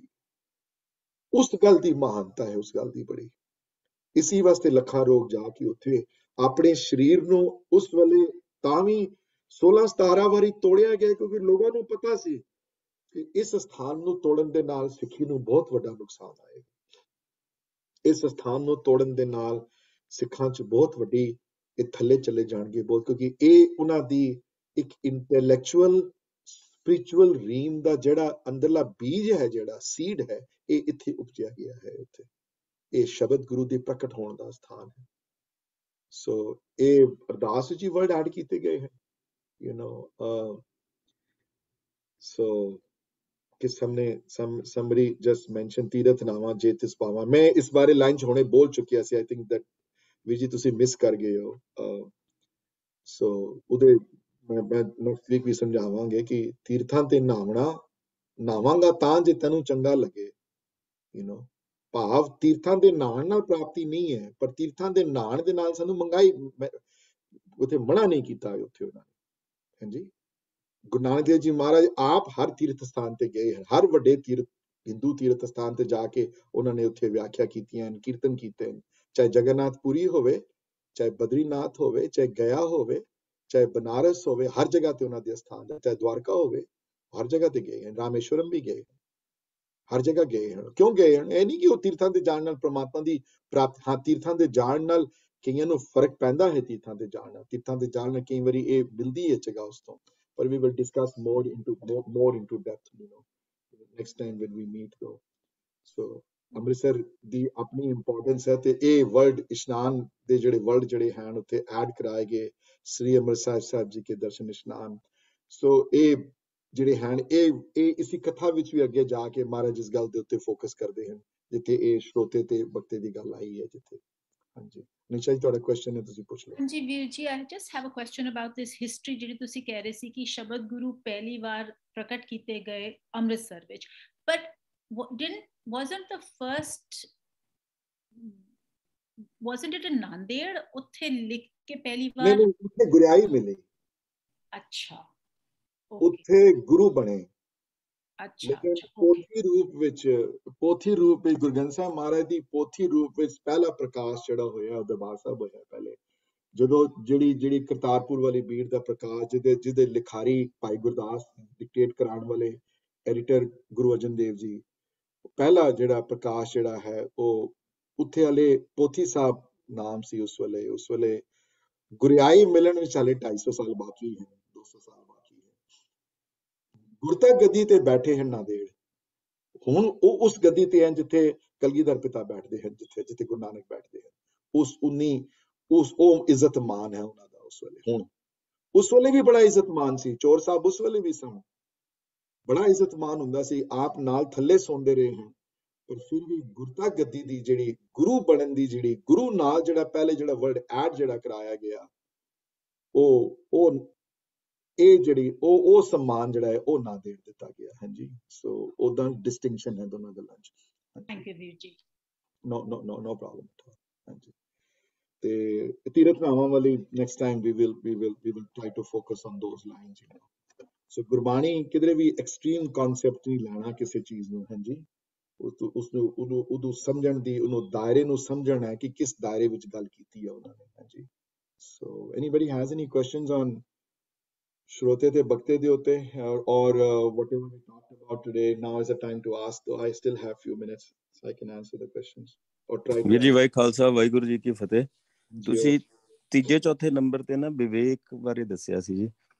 ਹਾਂਜੀ ਤੇ- ਵਿਵੇਕ ਨੰਬਰ 5 ਤੇ ਆਇਆ ਸੀ ਵੀਰ ਜੀ ਹਾਂਜੀ। 5 ਤੇ ਹਾਂਜੀ। ਤੇ ਮੈਂ ਕਿਤੇ ਕਿਸੇ ਦੇ ਸੰਗਤ ਦੇ ਗਿਆ ਸੀਗਾ ਉਹਨਾਂ ਨੇ ਕਿਹਾ ਜੀ ਇਹਨਾਂ ਨੇ ਵਿਵੇਕ ਲਿਆ ਇਹ ਨਾ ਸਿਰਫ ਜਿਨ੍ਹਾਂ ਨੇ ਅੰਮ੍ਰਿਤ ਛਕਿਆ ਉਹਨਾਂ ਦੇ ਹੱਥ ਦੀ ਬਣਾਈ ਖਾਂਦੇ ਆ ਪਰ ਤੁਸੀਂ ਇਹੋ ਜਿਹਾ ਕੁਝ ਨਹੀਂ ਦੱਸਿਆ ਇੱਥੇ ਕੀ ਹੁੰਦਾ ਵਿਵੇਕ ਦਾ ਅਸੀਂ ਇਹ- ਰੋਜ਼ ਇਹ ਉਹਦਾ ਮੰਗਦੇ ਵੀ ਆ ਉਹਦੇ ਵਿਵੇਕ ਚ ਦੇ- ਵਿਵੇਕ ਦੀ ਡੈਫੀਨੇਸ਼ਨ ਮੈਂ ਤੇ ਨਹੀਂ ਪੜ੍ਹੀ ਉਹ ਵਾਲੀ ਅਹ, ਵਿਵੇਕ ਦੀ ਡੈਫੀਨੇਸ਼ਨ ਉਹ ਹੈ ਕਿ ਵਿਵੇਕ ਦੀ ਲਿਟਰਲ ਡੈਫੀਨੇਸ਼ਨ ਵੀਰ ਜੀ ਇਹ ਹੈ ਅਗਰ ਡਿਕਸ਼ਨਰੀ ਦੇਖੋਗੇ ਨਾ ਵਿਵੇਕ ਵਰਡ ਤੇ ਡਿਕਸ਼ਨਰੀ ਵਿੱਚ ਜਿਹੜੇ ਤੁਹਾਨੂੰ मीनिंग ਮਿਲਣਗੇ ਉਹ ਕਿ person who has the ability to decipher firm truth ਸੱਚ ਨਾਲ ਨੂੰ ਝੂਠ ਚ ਜਿਹੜਾ ਡਿਸਾਈਫ ਡਿਸਾਈਫਰ ਕਰ ਸਕੇ ਜਿਹੜੀਆਂ ਡਿਸਾਈਫਰ ਮਤਲਬ ਹਾਂਜੀ ਡਿਸਾਈਫਰ ਮਤਲਬ ਮਤਲਬ ਜਿਹੜਾ ਸਮਝ ਸਕੇ ਸੱਚ ਕੀ ਹੈ ਝੂਠ ਕੀ ਹੈ ਜਿਹੜਾ ਜਿਹੜਾ ਵਧੀਆ। ਗੱਲ ਸਮਝ ਜਿਹਦੇ ਚ ਵਿਵੇਕ ਹੋਵੇ ਹੁਣ ਤੁਹਾਨੂੰ ਕੋਈ ਸਮਝਾਵੇ ਗੱਲ ਕਿ ਯੂ نو ਕਿ ਯੂ نو ਵਾਟ ਇਹ ਗੁਰਦੁਆਰੇ ਜਾਣਾ ਟਾਈਮ ਵੇਸਟ ਹੈ ਬੜਾ ਵੱਡਾ ਕੀਰਤਨ ਵਾਹਿਗੁਰੂ। ਸਿੱਖਣ ਦਾ ਵੱਡਾ ਟਾਈਮ ਵੇ ਕੋਈ ਫਾਇਦਾ ਨਹੀਂ ਹੈ ਕੀ ਹੋਏਗਾ ਕੀਰਤਨ ਸਿੱਖ ਕੇ ਕੀ ਹੋਏਗਾ ਸੁਰਾਂ ਹੀ ਸਿੱਖਣੀ ਨਾ ਤੁਸੀਂ ਬਿਲਾਵਲ ਸਿੱਖ ਵੀ ਲਿੱਤਾ ਤਾਂ ਕਿਹੜੀ ਵੱਡੀ ਗੱਲ ਹੈ ਜੇ ਵਿਵੇਕ ਹੋਏਗਾ ਤੁਹਾਡੇ ਤੋਂ ਤੁਹਾਡੀ ਤਰ੍ਹਾਂ ਪਹਿਲਾ ਕੁਐਸਚਨ ਹੋਏਗਾ ਫਿਰ ਇਹ ਗੱਲ ਸੱਚੀ ਨਹੀਂ ਹੋ ਸਕਦੀ ਕਿਉਂਕਿ ਮੇਰੇ ਗੁਰੂ ਨੇ ਬਿਲਾਵਲ ਰਾਹ ਚ ਬਾਣੀ ਰਚੀ ਹੈ। ਵਾਹਿਗੁਰੂ ਨਾ ਧੁਨਾਂ ਵਿੱਚ ਕੋਈ ਇੰਪੋਰਟੈਂਟ ਤਾਂ ਹੀ ਰਚੀ ਨੇ ਨਾ ਬਾਣੀ ਉਹਦੇ ਵਿੱਚ। ਹੋਏਗੀ ਨਾ ਕੋਈ ਇੰਪੋਰਟੈਂਟ ਤਾਂ ਹੀ ਬਿਲਾਵਲ ਨੂੰ ਗਾਣ ਦਾ ਹੁਕਮ ਹੈ ਬਿਲਾਵਲ ਦੀਆਂ ਦੋ ਚੌਕੀਆਂ ਦਰਬਾਰ ਸਾਹਿਬ ਲੱਗਦੀਆਂ। ਤੇ ਜੇ ਵਿਵੇਕ ਨਾ ਹੋਏ ਤੁਹਾਡੇ ਵਿੱਚ ਜੇ ਸੋਚਣ ਸਮਝਣ ਦੀ ਸ਼ਕਤੀ ਨਾ ਹੋਵੇ ਤੇ ਦੂਸਰੇ ਦੇ ਬਹਿਕਾਵੇ ਵਿੱਚ ਇੱਕ ਸੈਕਿੰਡ ਤੁਸੀਂ ਆ ਜਾਓਗੇ। ਦੂਸਰੇ ਦੇ ਜੇ ਆਪ ਵਿਵੇਕ ਹੋਵੇ ਤੁਹਾਡੇ ਵਿੱਚ ਜੇ ਆਪ ਸੱਚ ਔਰ ਝੂਠ ਸਮਝਣ ਦੀ ਖੰਤਾ ਹੋਵੇ ਤੁਹਾਡੇ ਵਿੱਚ ਔਰ ਬ੍ਰੇਨ ਵਿੱਚ ਤਾਕਤ ਹੋਵੇ ਕਿ ਰਾਈਟ ਔਰ ਰੋਂਗ ਕੀ ਹੈ ਇਹ ਵੀ ਦਾਨ ਹੈ ਵੀ ਜਿਹੜੇ ਅਰਦਾਸ ਵਿੱਚ ਜਿਹੜੇ ਦਾਨ ਮੰਗੇ ਹਨ ਜਿਹੜੇ ਉਹ ਸਾਰੇ ਦਾਨ ਦੇਖਣ ਵਾਲੇ ਦਾਨ ਹਨ ਜਿਹੜੇ ਅਰਦਾਸ ਵਾਲੇ। ਇੱਕ ਇੱਕ ਦਾਨ ਵਿੱਚ ਬੜੀ ਸ਼ਕਤੀ ਹੈ। ਹਾਂਜੀ? ਭਰੋਸੇ ਦਾਨ। ਖਿਮਾ ਦਾ ਦਾਨ। ਹਾਲਾਂਕਿ ਖਿਮਾ ਦਾ ਦਾਨ ਪਰਪਸਲੀ ਨਹੀਂ ਉਹ ਤੇ ਨਹੀਂ ਯੂਜ਼ ਕੀਤਾ ਗਿਆ ਵਰਡ ਇਹ ਵੀ ਦਾਨ ਹਨ ਸਾਰੇ। ਭਰੋਸੇ ਦਾ ਦਾਨ ਵਿਵੇਕ ਦਾ ਦਾਨ ਮਨ ਨੀਵਾ ਮਤ ਉੱਚੀ ਵਾਲਾ ਦਾਨ ਇਹ ਵੀ ਦਾਨ ਹੈ। ਬਹੁਤ ਮੁਸ਼ਕਲ ਹੈ ਮਨ ਨੀਵਾ ਤੇ ਮਤ ਉੱਚੀ ਰੱਖਣੀ। ਇਹ ਇਹ ਸਿੱਖਣੀ ਹੈ ਤੇ ਫਿਰ ਦੇਖੋ ਫਿਰ ਭਾਈ ਨੰਦ ਲਾਲ ਜੀ ਨੂੰ ਦੇਖ ਲਓ ਫਿਰ। ਉਹਨਾਂ ਨੇ ਰੱਖੀ ਹੈ ਮਨ ਨੀਵਾ ਮਤ ਉੱਚੀ। ਇਤਨੇ ਵੱਡੇ ਜਾਣੂ ਇਤਨੇ ਵੱਡੇ ਗਿਆਨੀ ਇਤਨੇ ਸੰਸਕ੍ਰਿਤ ਪੜ੍ਹੇ ਹੋਏ ਫਾਰਸੀ ਪੜ੍ਹੇ ਹੋਏ ਮੁਗਲ ਗਵਰਨਮੈਂਟ ਇੰਨੀ ਉੱਚੀ ਪੋਜੀਸ਼ਨ ਦੇ ਮਾਲਕ ਹੋ ਕੇ ਵੀ ਝੂਠੇ ਭਾਨਿਆਂ ਦੀ ਸੇਵਾ ਕਰਦੇ ਹਨ ਅਨੰਦਪੁਰ ਸਾਹਿਬ ਆ ਕੇ ਸੋ ਇਹ ਅਰਦਾਸ ਵਿੱਚ ਕਿਉਂਕਿ ਸਾਰੇ ਦਾਨ ਮੰਗੇ ਹਨ ਸੋ ਵਿਵੇਕ ਦਾ ਵੀ ਦਾਨ ਹੈ ਹਾਂ ਇਹ ਗੱਲ ਜ਼ਰੂਰ ਹੈ ਵੀਰ ਜੀ ਕਿ ਅੰਮ੍ਰਿਤ ਛਕਣ ਤੋਂ ਬਾਅਦ ਫਿਰ ਗੁਰੂ ਵਾਲੇ ਜਦੋਂ ਬੰਦਾ ਬਣ ਜਾਂਦਾ ਹੈ ਤੇ ਤੁਹਾਡੀ ਪ੍ਰੋਬੇਬਿਲਿਟੀ ਵਿਵੇਕ ਲੈਣ ਦੀ ਜ਼ਰੂਰ ਵੱਧ ਜਾਂਦੀ ਹੈ there is no question about that ਵੀਰ ਜੀ ਅੰਮ੍ਰਿਤ ਛਕਣ ਤੋਂ ਬਾਅਦ ਕੀ ਹੁੰਦਾ ਹੈ? ਅੰਮ੍ਰਿਤ ਛਕਣ ਤੋਂ ਬਾਅਦ ਬੰਦਾ ਗੁਰੂ ਵਾਲਾ ਬਣ ਜਾਂਦਾ ਹੈ। ਗੁਰੂ ਵਾਲੇ ਬਣਨ ਤੋਂ ਬਾਅਦ ਗੁਰੂ ਵਾਲੇ ਨਿਯਮ ਅਪਲਾਈ ਕਰਦਾ ਆਪਣੀ ਲਾਈਫ ਵਿੱਚ। ਜੋ ਗੁਰੂ ਵਾਲੇ ਨਿਯਮ ਅਪਲਾਈ ਕਰਦਾ ਹੈ ਜਦੋਂ ਗੁਰਬਾਣੀ ਨਾਲ ਨਿਯਮ ਉਹਦਾ ਵੱਧਦਾ ਹੈ ਹਉਮੈ ਘਟਦੀ ਹੈ ਉਸਦੀ ਗੁਰਬਾਣੀ ਜ਼ਿਆਦਾ ਪੜ੍ਹਨੀ ਸ਼ੁਰੂ ਕਰਦਾ ਹੈ ਉਹ ਉਹਨਾਂ ਨਿਯਮਾਂ ਨੂੰ ਪਾਲਨ ਕਰਦਾ ਹੈ ਤਾਂ ਉਹਨਾਂ ਨਿਯਮਾਂ ਨੂੰ ਪਾਲਨ ਕਰਨ ਦੇ ਨਾਲ ਵੀਰ ਜੀ ਗੁਰਬਾਣੀ ਦੀ ਰੋਸ਼ਨੀ ਉਹਦੀ ਲਾਈਫ ਵਿੱਚ ਵੱਧ ਜਾਂਦੀ ਹੈ ਉਹ ਲਾਈਫ ਦੇ ਵਧਣ ਦੇ ਨਾਲ ਵਿਵੇਕ ਉਤਪੰਨ ਹੁੰਦਾ ਉਹਦੇ ਵਿੱਚ। ਯਾਨੀ ਆਪਣੀ ਗੱਲ ਤੇ ਠੀਕ ਸਨ। ਸੋ ਮੈਂ ਆਈ ਜਸਟ ਵਾਂਟ ਟੂ ਕਿ ਇਹਦੇ 'ਚ ਇਹ ਨਹੀਂ ਹੈ ਕਿ ਅੰਮ੍ਰਿਤ ਛਕ ਲਿੱਤਾ ਤੇ ਅਗਲੇ ਦਿਨ ਵਿਵੇਕ ਆ ਗਿਆ ਉਂਝ ਨਹੀਂ ਹੈ ਅੰਮ੍ਰਿਤ ਛਕ ਲਿੱਤਾ ਗੁਰੂ ਵਾਲੇ ਬਣ ਗਏ ਹੁਣ ਰਸਤੇ ਤੇ ਚੱਲੋਗੇ ਤੇ ਵਿਵੇਕ ਆਏਗਾ ਵਾਹਿ ਤੇ ਵੀਰ ਜੀ ਵਿਵੇਕ ਹੁੰਦਾ ਕਿ ਬੱਬੇ ਤੋਂ ਵਿਵੇਕ ਹੁੰਦਾ ਦੋਨੋਂ ਸਪੈਲਿੰਗ ਆਏ ਹਨ ਗੁਰਬਾਣੀ ਵਿੱਚ ਅੱਛਾ ਵਿਵੇਕ ਵੀ ਆਇਆ ਤੇ ਬੱਬੇ ਨਾਲ ਵੀ ਆਇਆ ਕੋਈ ਫ਼ਰਕ ਨਹੀਂ ਦੋਨੋਂ ਸਪੈਲਿੰਗ ਗੁਰਬਾਣੀ ਵਿੱਚ ਦੋਨੋਂ ਸਪੈਲਿੰਗ ਵਿਵੇਕ ਦੇ ਆਏ ਹਨ ਵਿਵੇਕ ਨਾਲ ਵੀ ਆਇਆ ਤੇ ਬੱਬੇ ਨਾਲ ਵੀ ਆਇਆ ਵਾਹਿ no problem Thank Thank you so much for a really, uh, you know, great uh, class and discussion. They, um, I wanted to share something and also want and uh, uh, also have a question. Sure. So the, the thing that I wanted to share is that Viji, many years ago, you had, you know, I used to come to your classes in the Gurdwara and you had you know invited me to start learning kirtan and and i took up that invitation. And um, one one key reason why i took that up because i intuitively felt that if i could learn music because i did not learn it in childhood that if i if i could learn to differentiate the notes of music it would uh, it would increase my listening ability. That was one of the key reasons along with the the interest in the topic you know along with wanting to understand gurbani this was one of the things. And and uh, you know fast forward so many years i do feel it has helped. You know i, I kind of wanted to share that Thank that you. halaki i'm not a very good student. I don't think i am a very good listener but the the you know or i try to be a good listener but i know at times i'm not a good listener. I internally know that. And so so the the but i do feel that the kirtan and the sangeet that you have introduced me to and to so many other people that is a technique for improving the listening. And and so my question then is can can you or can others share other methods to improve the listening ability uh, with that that have worked you know that has worked you know uh, for you all Sure.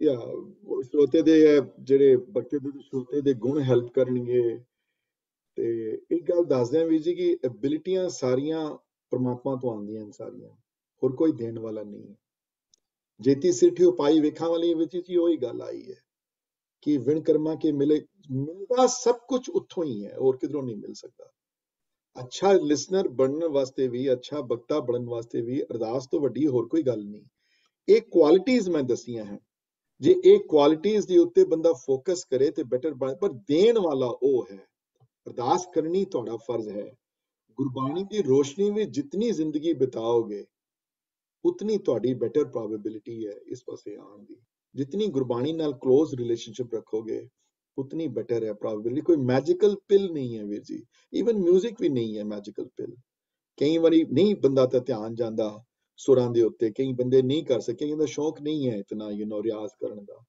ਸੋ ਕੋਈ magical pill ਕੋਈ ਨਹੀਂ ਦੇ ਸਕਦਾ ਵੀਰ ਜੀ ਕੋਈ ਕੋਈ ਕੋਈ ਉਹ ਜੀ, ਹਾਂ, ਇਹ ਗੱਲ ਹੈ ਅਲਟੀਮੇਟਲੀ ਦੇਣ ਵਾਲਾ ਉਹ ਹੈ, ਹੋਰ ਕੋਈ ਨਹੀਂ। ਉਸ ਤੋਂ ਸਿਵਾਏ ਕੁਝ ਨਹੀਂ ਹੋ ਸਕਦਾ। ਉਹ ਹੀ ਹੈ ਦੇਣ ਵਾਲਾ। ਗੁਣਾਂ ਦਾ ਦਾਤਾ ਉਹ ਹੈ, ਕਿਉਂਕਿ ਸਾਰੇ ਗੁਣ ਉਹਦੇ ਵਿੱਚ ਹਨ। ਉਹ ਹੀ ਦੇਣ ਵਾਲਾ ਹੈ ਸਾਰਾ ਕੁਝ। ਮੰਗਣਾ ਹੈ ਉਸ ਤੋਂ, ਹੱਥ ਜੋੜ ਕੇ, ਬੇਨਤੀ ਕਰਕੇ ਕਿ ਮੇਰਾ ਨਹੀਂ ਜੇ ਧਿਆਨ ਲੱਗਦਾ, ਮੇਰਾ ਲਗਵਾਓ। ਮੇਰਾ, ਮੈਂ ਨਹੀਂ ਹੈ ਇਹਨਾਂ ਗੁਣਾਂ ਦਾ ਮਾਲਕ, ਮੈਨੂੰ ਇਹ ਗੁਣ ਦਿਓ। ਤੇ ਇਹ ਗੁਣ ਦੇਣ ਵਾਲਾ ਵੀ ਉਹ ਹੈ, ਤੇ ਗੁਣ ਦਿੰਦਾ ਉਸ ਨੂੰ ਹੈ ਜਿਹੜੀ ਜਿਹਦੀ ਲਾਈਫ ਜਪਜੀ ਦੀ ਜਪਜੀ ਦੀ ਰੋਸ਼ਨੀ ਵਿੱਚ ਜਿਹਦੀ ਲਾਈਫ ਜਿਹੜਾ ਜਿੰਦਾ ਹੋਵੇ, ਜਿਹੜੀ। ਹਰ ਗੱਲ ਜਪਜੀ ਕੋਲ ਪੁੱਛ ਕੇ ਕਰਦਾ ਹੋਵੇ। ਹਾਂਜੀ, ਹਰ ਗੱਲ ਦੇ ਪਿੱਛੇ ਜਪਜੀ ਛੁਪੀ ਹੋਵੇ। ਯੂ نو ਜਪਜੀ ਕੋਲ ਜਿਹੜਾ ਪੁੱਛ ਕੇ ਜੀਏਗਾ, ਉਹਦਾ ਫਿਰ ਸੁਣਿਆ ਦੁੱਖ ਪਾਪ ਦਾ ਨਾਸ ਗਾਰੰਟੀਡ ਹੈ। ਜੇ ਨਹੀਂ ਹੋਇਆ ਸੁਣਿਆ ਦੁੱਖ ਪਾਪ ਦਾ ਨਾਸ, ਤੇ ਫਿਰ ਇਸ਼ੂਜ਼ ਹਨ ਕਿਧਰੇ। ਸੋ ਹਰ ਗੁਣ ਦਾ ਦੇਣ ਵਾਲਾ ਉਹ ਹੈ। ਸਭ ਗੁਣ ਤੇਰੇ, ਮੈਂ ਨਾਹੀ ਕੋਈ ਹੈ। ਔਰ ਵਿਣ ਗੁਣ ਕੀਤੇ ਭਗਤ ਨਾ ਹੋਏ, ਇਹ ਵੀ ਗੱਲ ਜਪਜੀ ਚ ਆਈ ਹੈ। ਭਗਤੀ ਵੀ ਗੁਣਾ ਤੋਂ ਹੁੰਦੀ ਹੈ ਤੇ ਗੁਣ ਮਿਲਦੇ ਉੱਥੋਂ ਹਨ ਹੋਰ ਕਿਧਰੋਂ ਨਹੀਂ ਮਿਲ ਸਕਦੇ।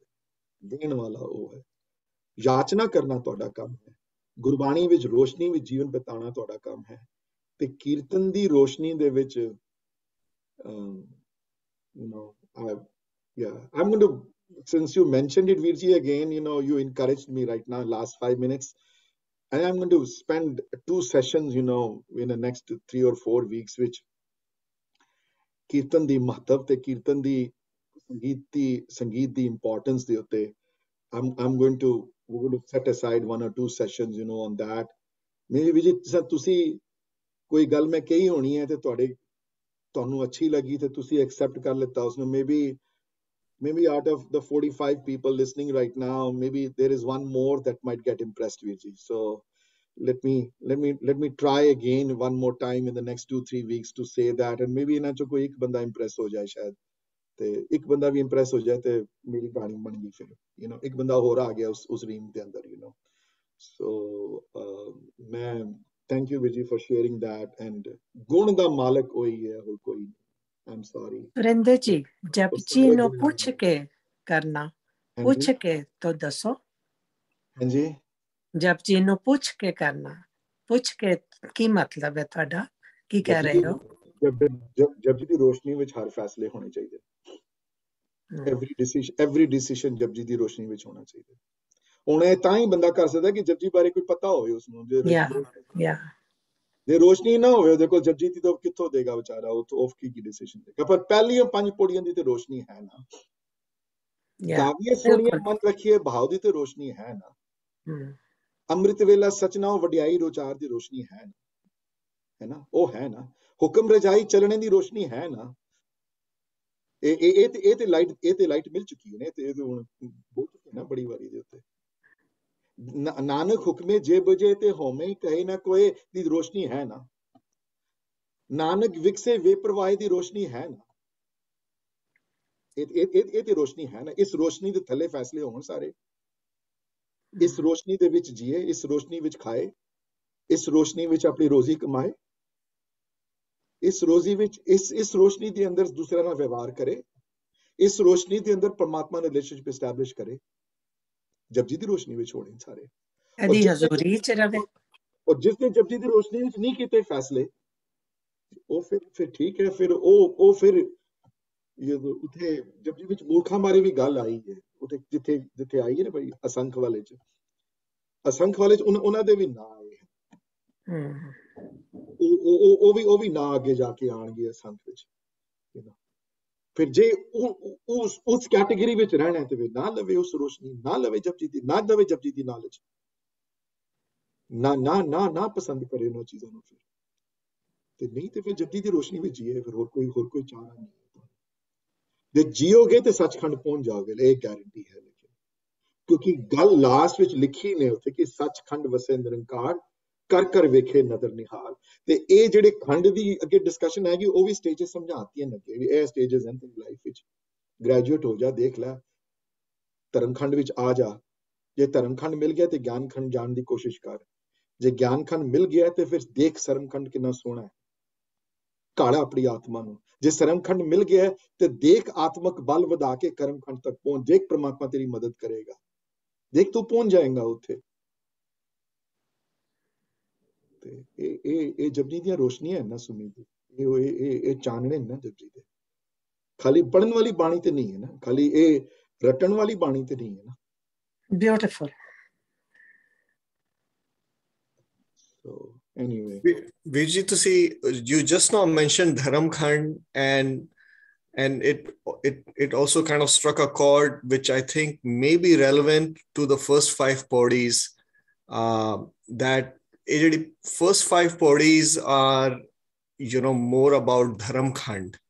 And could you also elaborate on that a little bit? ਇਹ ਇਹ ਬਹੁਤ ਵੱਡਾ ਕੁਐਸਚਨ ਤੁਸੀਂ ਪੁੱਛ ਲਿੱਤਾ ਇਹ ਬਾਅਦ 'ਚ ਗੱਲ ਕਰਾਂਗੇ ਜੀ Okay. ji. complex question ਹੈ ਬੜਾ so you will we'll talk about it later Th- this requires a lot of thought process behind it and understanding of everybody what Dharamkhand really means you know We'll, we'll, we'll discuss it. We'll discuss it yeah. Okay. Thank you. ji. ਹਾਲੇ ਜੇ ਪੰਜ ਪੌੜੀਆਂ ਜਿਹੜੀਆਂ ਹਨ ਇਹ ਸਿਰਫ ਇੰਟਾਈਸ ਕਰਦੀਆਂ ਹਨ ਤੁਹਾਨੂੰ ਕਿ ਤੁਸੀਂ ਆ ਜਾਓ ਇੱਥੇ। ਪਲੀਜ਼ ਹੱਥ ਜੋੜ ਜੋੜ ਕੇ ਦੱਸਿਆ ਤੁਹਾਨੂੰ। ਇਹ ਇਹ ਪਾਸਾ ਬੈਟਰ ਹੈ ਤੁਹਾਡੇ ਵਾਲਾ ਪਾਸਾ ਬੈਟਰ ਨਹੀਂ ਹੈ। ਇਹ ਰਸਤਾ ਅਪਣਾ ਲਓ। ਉਹ ਰਸਤਾ ਨਾ ਅਪਣਾਓ। ਜੇ ਇਹ ਇਹ ਇਸ ਰਸਤੇ ਤੇ ਚੱਲ ਆ ਜਾਓ ਤੁਸੀਂ ਇਸ ਪਾਸੇ ਤੁਹਾਨੂੰ ਇੰਪ੍ਰੈਸ ਕਰਨ ਦੀ ਕੋਸ਼ਿਸ਼ ਕਰ ਤੁਹਾਨੂੰ ਕੋਸ਼ਿਸ਼ ਕੀਤੀ ਉਹਨਾਂ ਨੇ ਉੱਥੇ।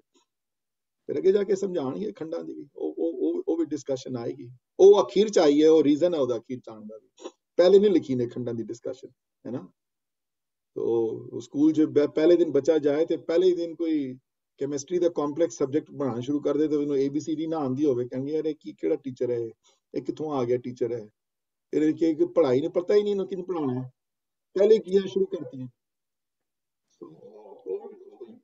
ਸੁਰਿੰਦਰ ਜੀ ਵੀਰ ਜੀ ਉਹਨੇ ਗੱਲ ਕਰ ਰਹੇ ਸਨ ਨਾ ਕਨਸੈਂਟਰੇਸ਼ਨ ਦੀ ਤੇ ਇਹ ਸਕੂਲਸ ਵਿੱਚ ਵੀ ਜਿਹੜੇ ਟਫ ਕਨਸੈਪਟਸ ਹੁੰਦੇ ਨੇ ਨਾ ਸਾਇੰਸ ਜਾਂ ਮੈਥ ਦੇ ਹੁੰਦੇ ਆ ਬੱਚਿਆਂ ਨੂੰ ਨਹੀਂ ਸਮਝ ਆਉਂਦੇ ਉਹ ਜਦੋਂ 뮤직 ਦੇ ਨਾਲ ਕਰਾਉਂਦੇ ਆ ਨਾ ਦੇ get very fast yeah maybe yeah it sticks to their mind and they learn so much faster I know, I know.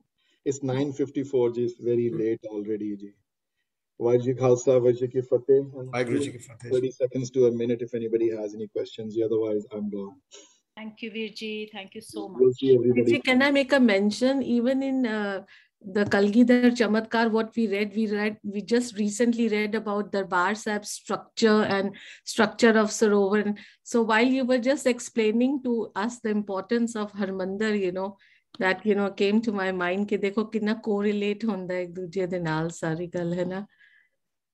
ਉਸ ਤੇ ਵੀ ਵੀਰ ਜੀ ਕਦੀ ਜ਼ਰੂਰ ਸਾਨੂੰ ਰੋਸ਼ਨੀ ਪਾ ਕੇ ਸਮਝਾਣਾ Yeah, yeah, ਜ਼ਰੂਰ yeah. ਹਾਂਜੀ yeah ਉਹ ਆਰਕੀਟੈਕਚਰ ਦੇ ਉੱਤੇ ਵੀ ਬੜਾ ਫੋਕਸ ਕੀਤਾ ਹਾਂਜੀ ਹਾਂਜੀ thank you Thank you. Anji. I'm still here for the next 30 seconds at least. Anji. So Virji, we will be having your Kirtan class on Sunday now, the one that you take the practice Kirtan class for everybody. That will be on Sunday later. Yeah, that will be on Sundays now. ਹਾਂਜੀ ਠੀਕ ਹੈ ਤਾਂ ਵੀਰ ਜੀ ਸਾਨੂੰ ਇੱਕ ਵਾਰੀ time ਨਹੀਂ update ਮੈਂ ਸਾਰਾ ਭੇਜ ਦਾਂਗਾ ਅੱਜ ਮੈਂ ਮੈਂ ਲੰਬਾ ਨੋਟ ਲਿਖ ਕੇ ਭੇਜਾਂਗਾ ਮੈਂ ਸਾਰੀ ਠੀਕ ਹੈ ਜੀ ਐਂਡ ਦ ਸ਼ਬਦ that you are going to discuss also ਵੀਰ ਜੀ ਉਹ ਵੀ ਥੋੜਾ ਹਾਂਜੀ ਹਾਂਜੀ ਵਿਜੀ ਆਈ ਵਾਸ ਆਸਕਿੰਗ ਜਿਹੜੀ ਤੁਸੀਂ ਅਰਦਾਸ ਦੇ ਵਿੱਚ ਇੱਕ ਆਂਦਾ ਵਿਸਾਹਦਾਨ थोड़ा जिया प्लीज़ एक्सप्लेन करोगे? आई हैव इट होने होने करांगे जी 955 हो गया। आई एम श्योर ठीक है नेक्स्ट टाइम जून फ़र्स्ट का जब it's almost been hour and half तो अगले हफ़्ते मैं मैंने रिमाइंड करा देना नेक्स्ट टाइम मैं अपनी नोट लिख देनी है सिर्फ़ विसाद बाकी तो आपने बहुत अच्छा एक्सप्लेन कर देता विसाद दार में थोड़ा जिया नहीं समझ आई है जी। Thank you very much no no no ये रिकॉर्डिंग कर रही चल रही है। ਰਿਕਾਰਡਿੰਗ ਮੈਨੀ ਆਫ ਵੀਰ ਜੀ ਬੰਦ ਅੱਛਾ ਠੀਕ ਹੈ ਕੋਈ ਗੱਲ ਨਹੀਂ ਓਕੇ ਜੀ ਵਾਹਿਗੁਰੂ ਜੀ ਕਾ ਖਾਲਸਾ ਵਾਹਿਗੁਰੂ ਓਕੇ ਜੀ I'm going to leave now as soon i press the end button ji the meeting is going to end ji Waheguru ji Khalsa Waheguru ਜੀ ਕੀ ਫਤਿਹ ਵਾਹਿਗੁਰੂ ਜੀ ਕਾ ਖਾਲਸਾ ਵਾਹਿਗੁਰੂ ਜੀ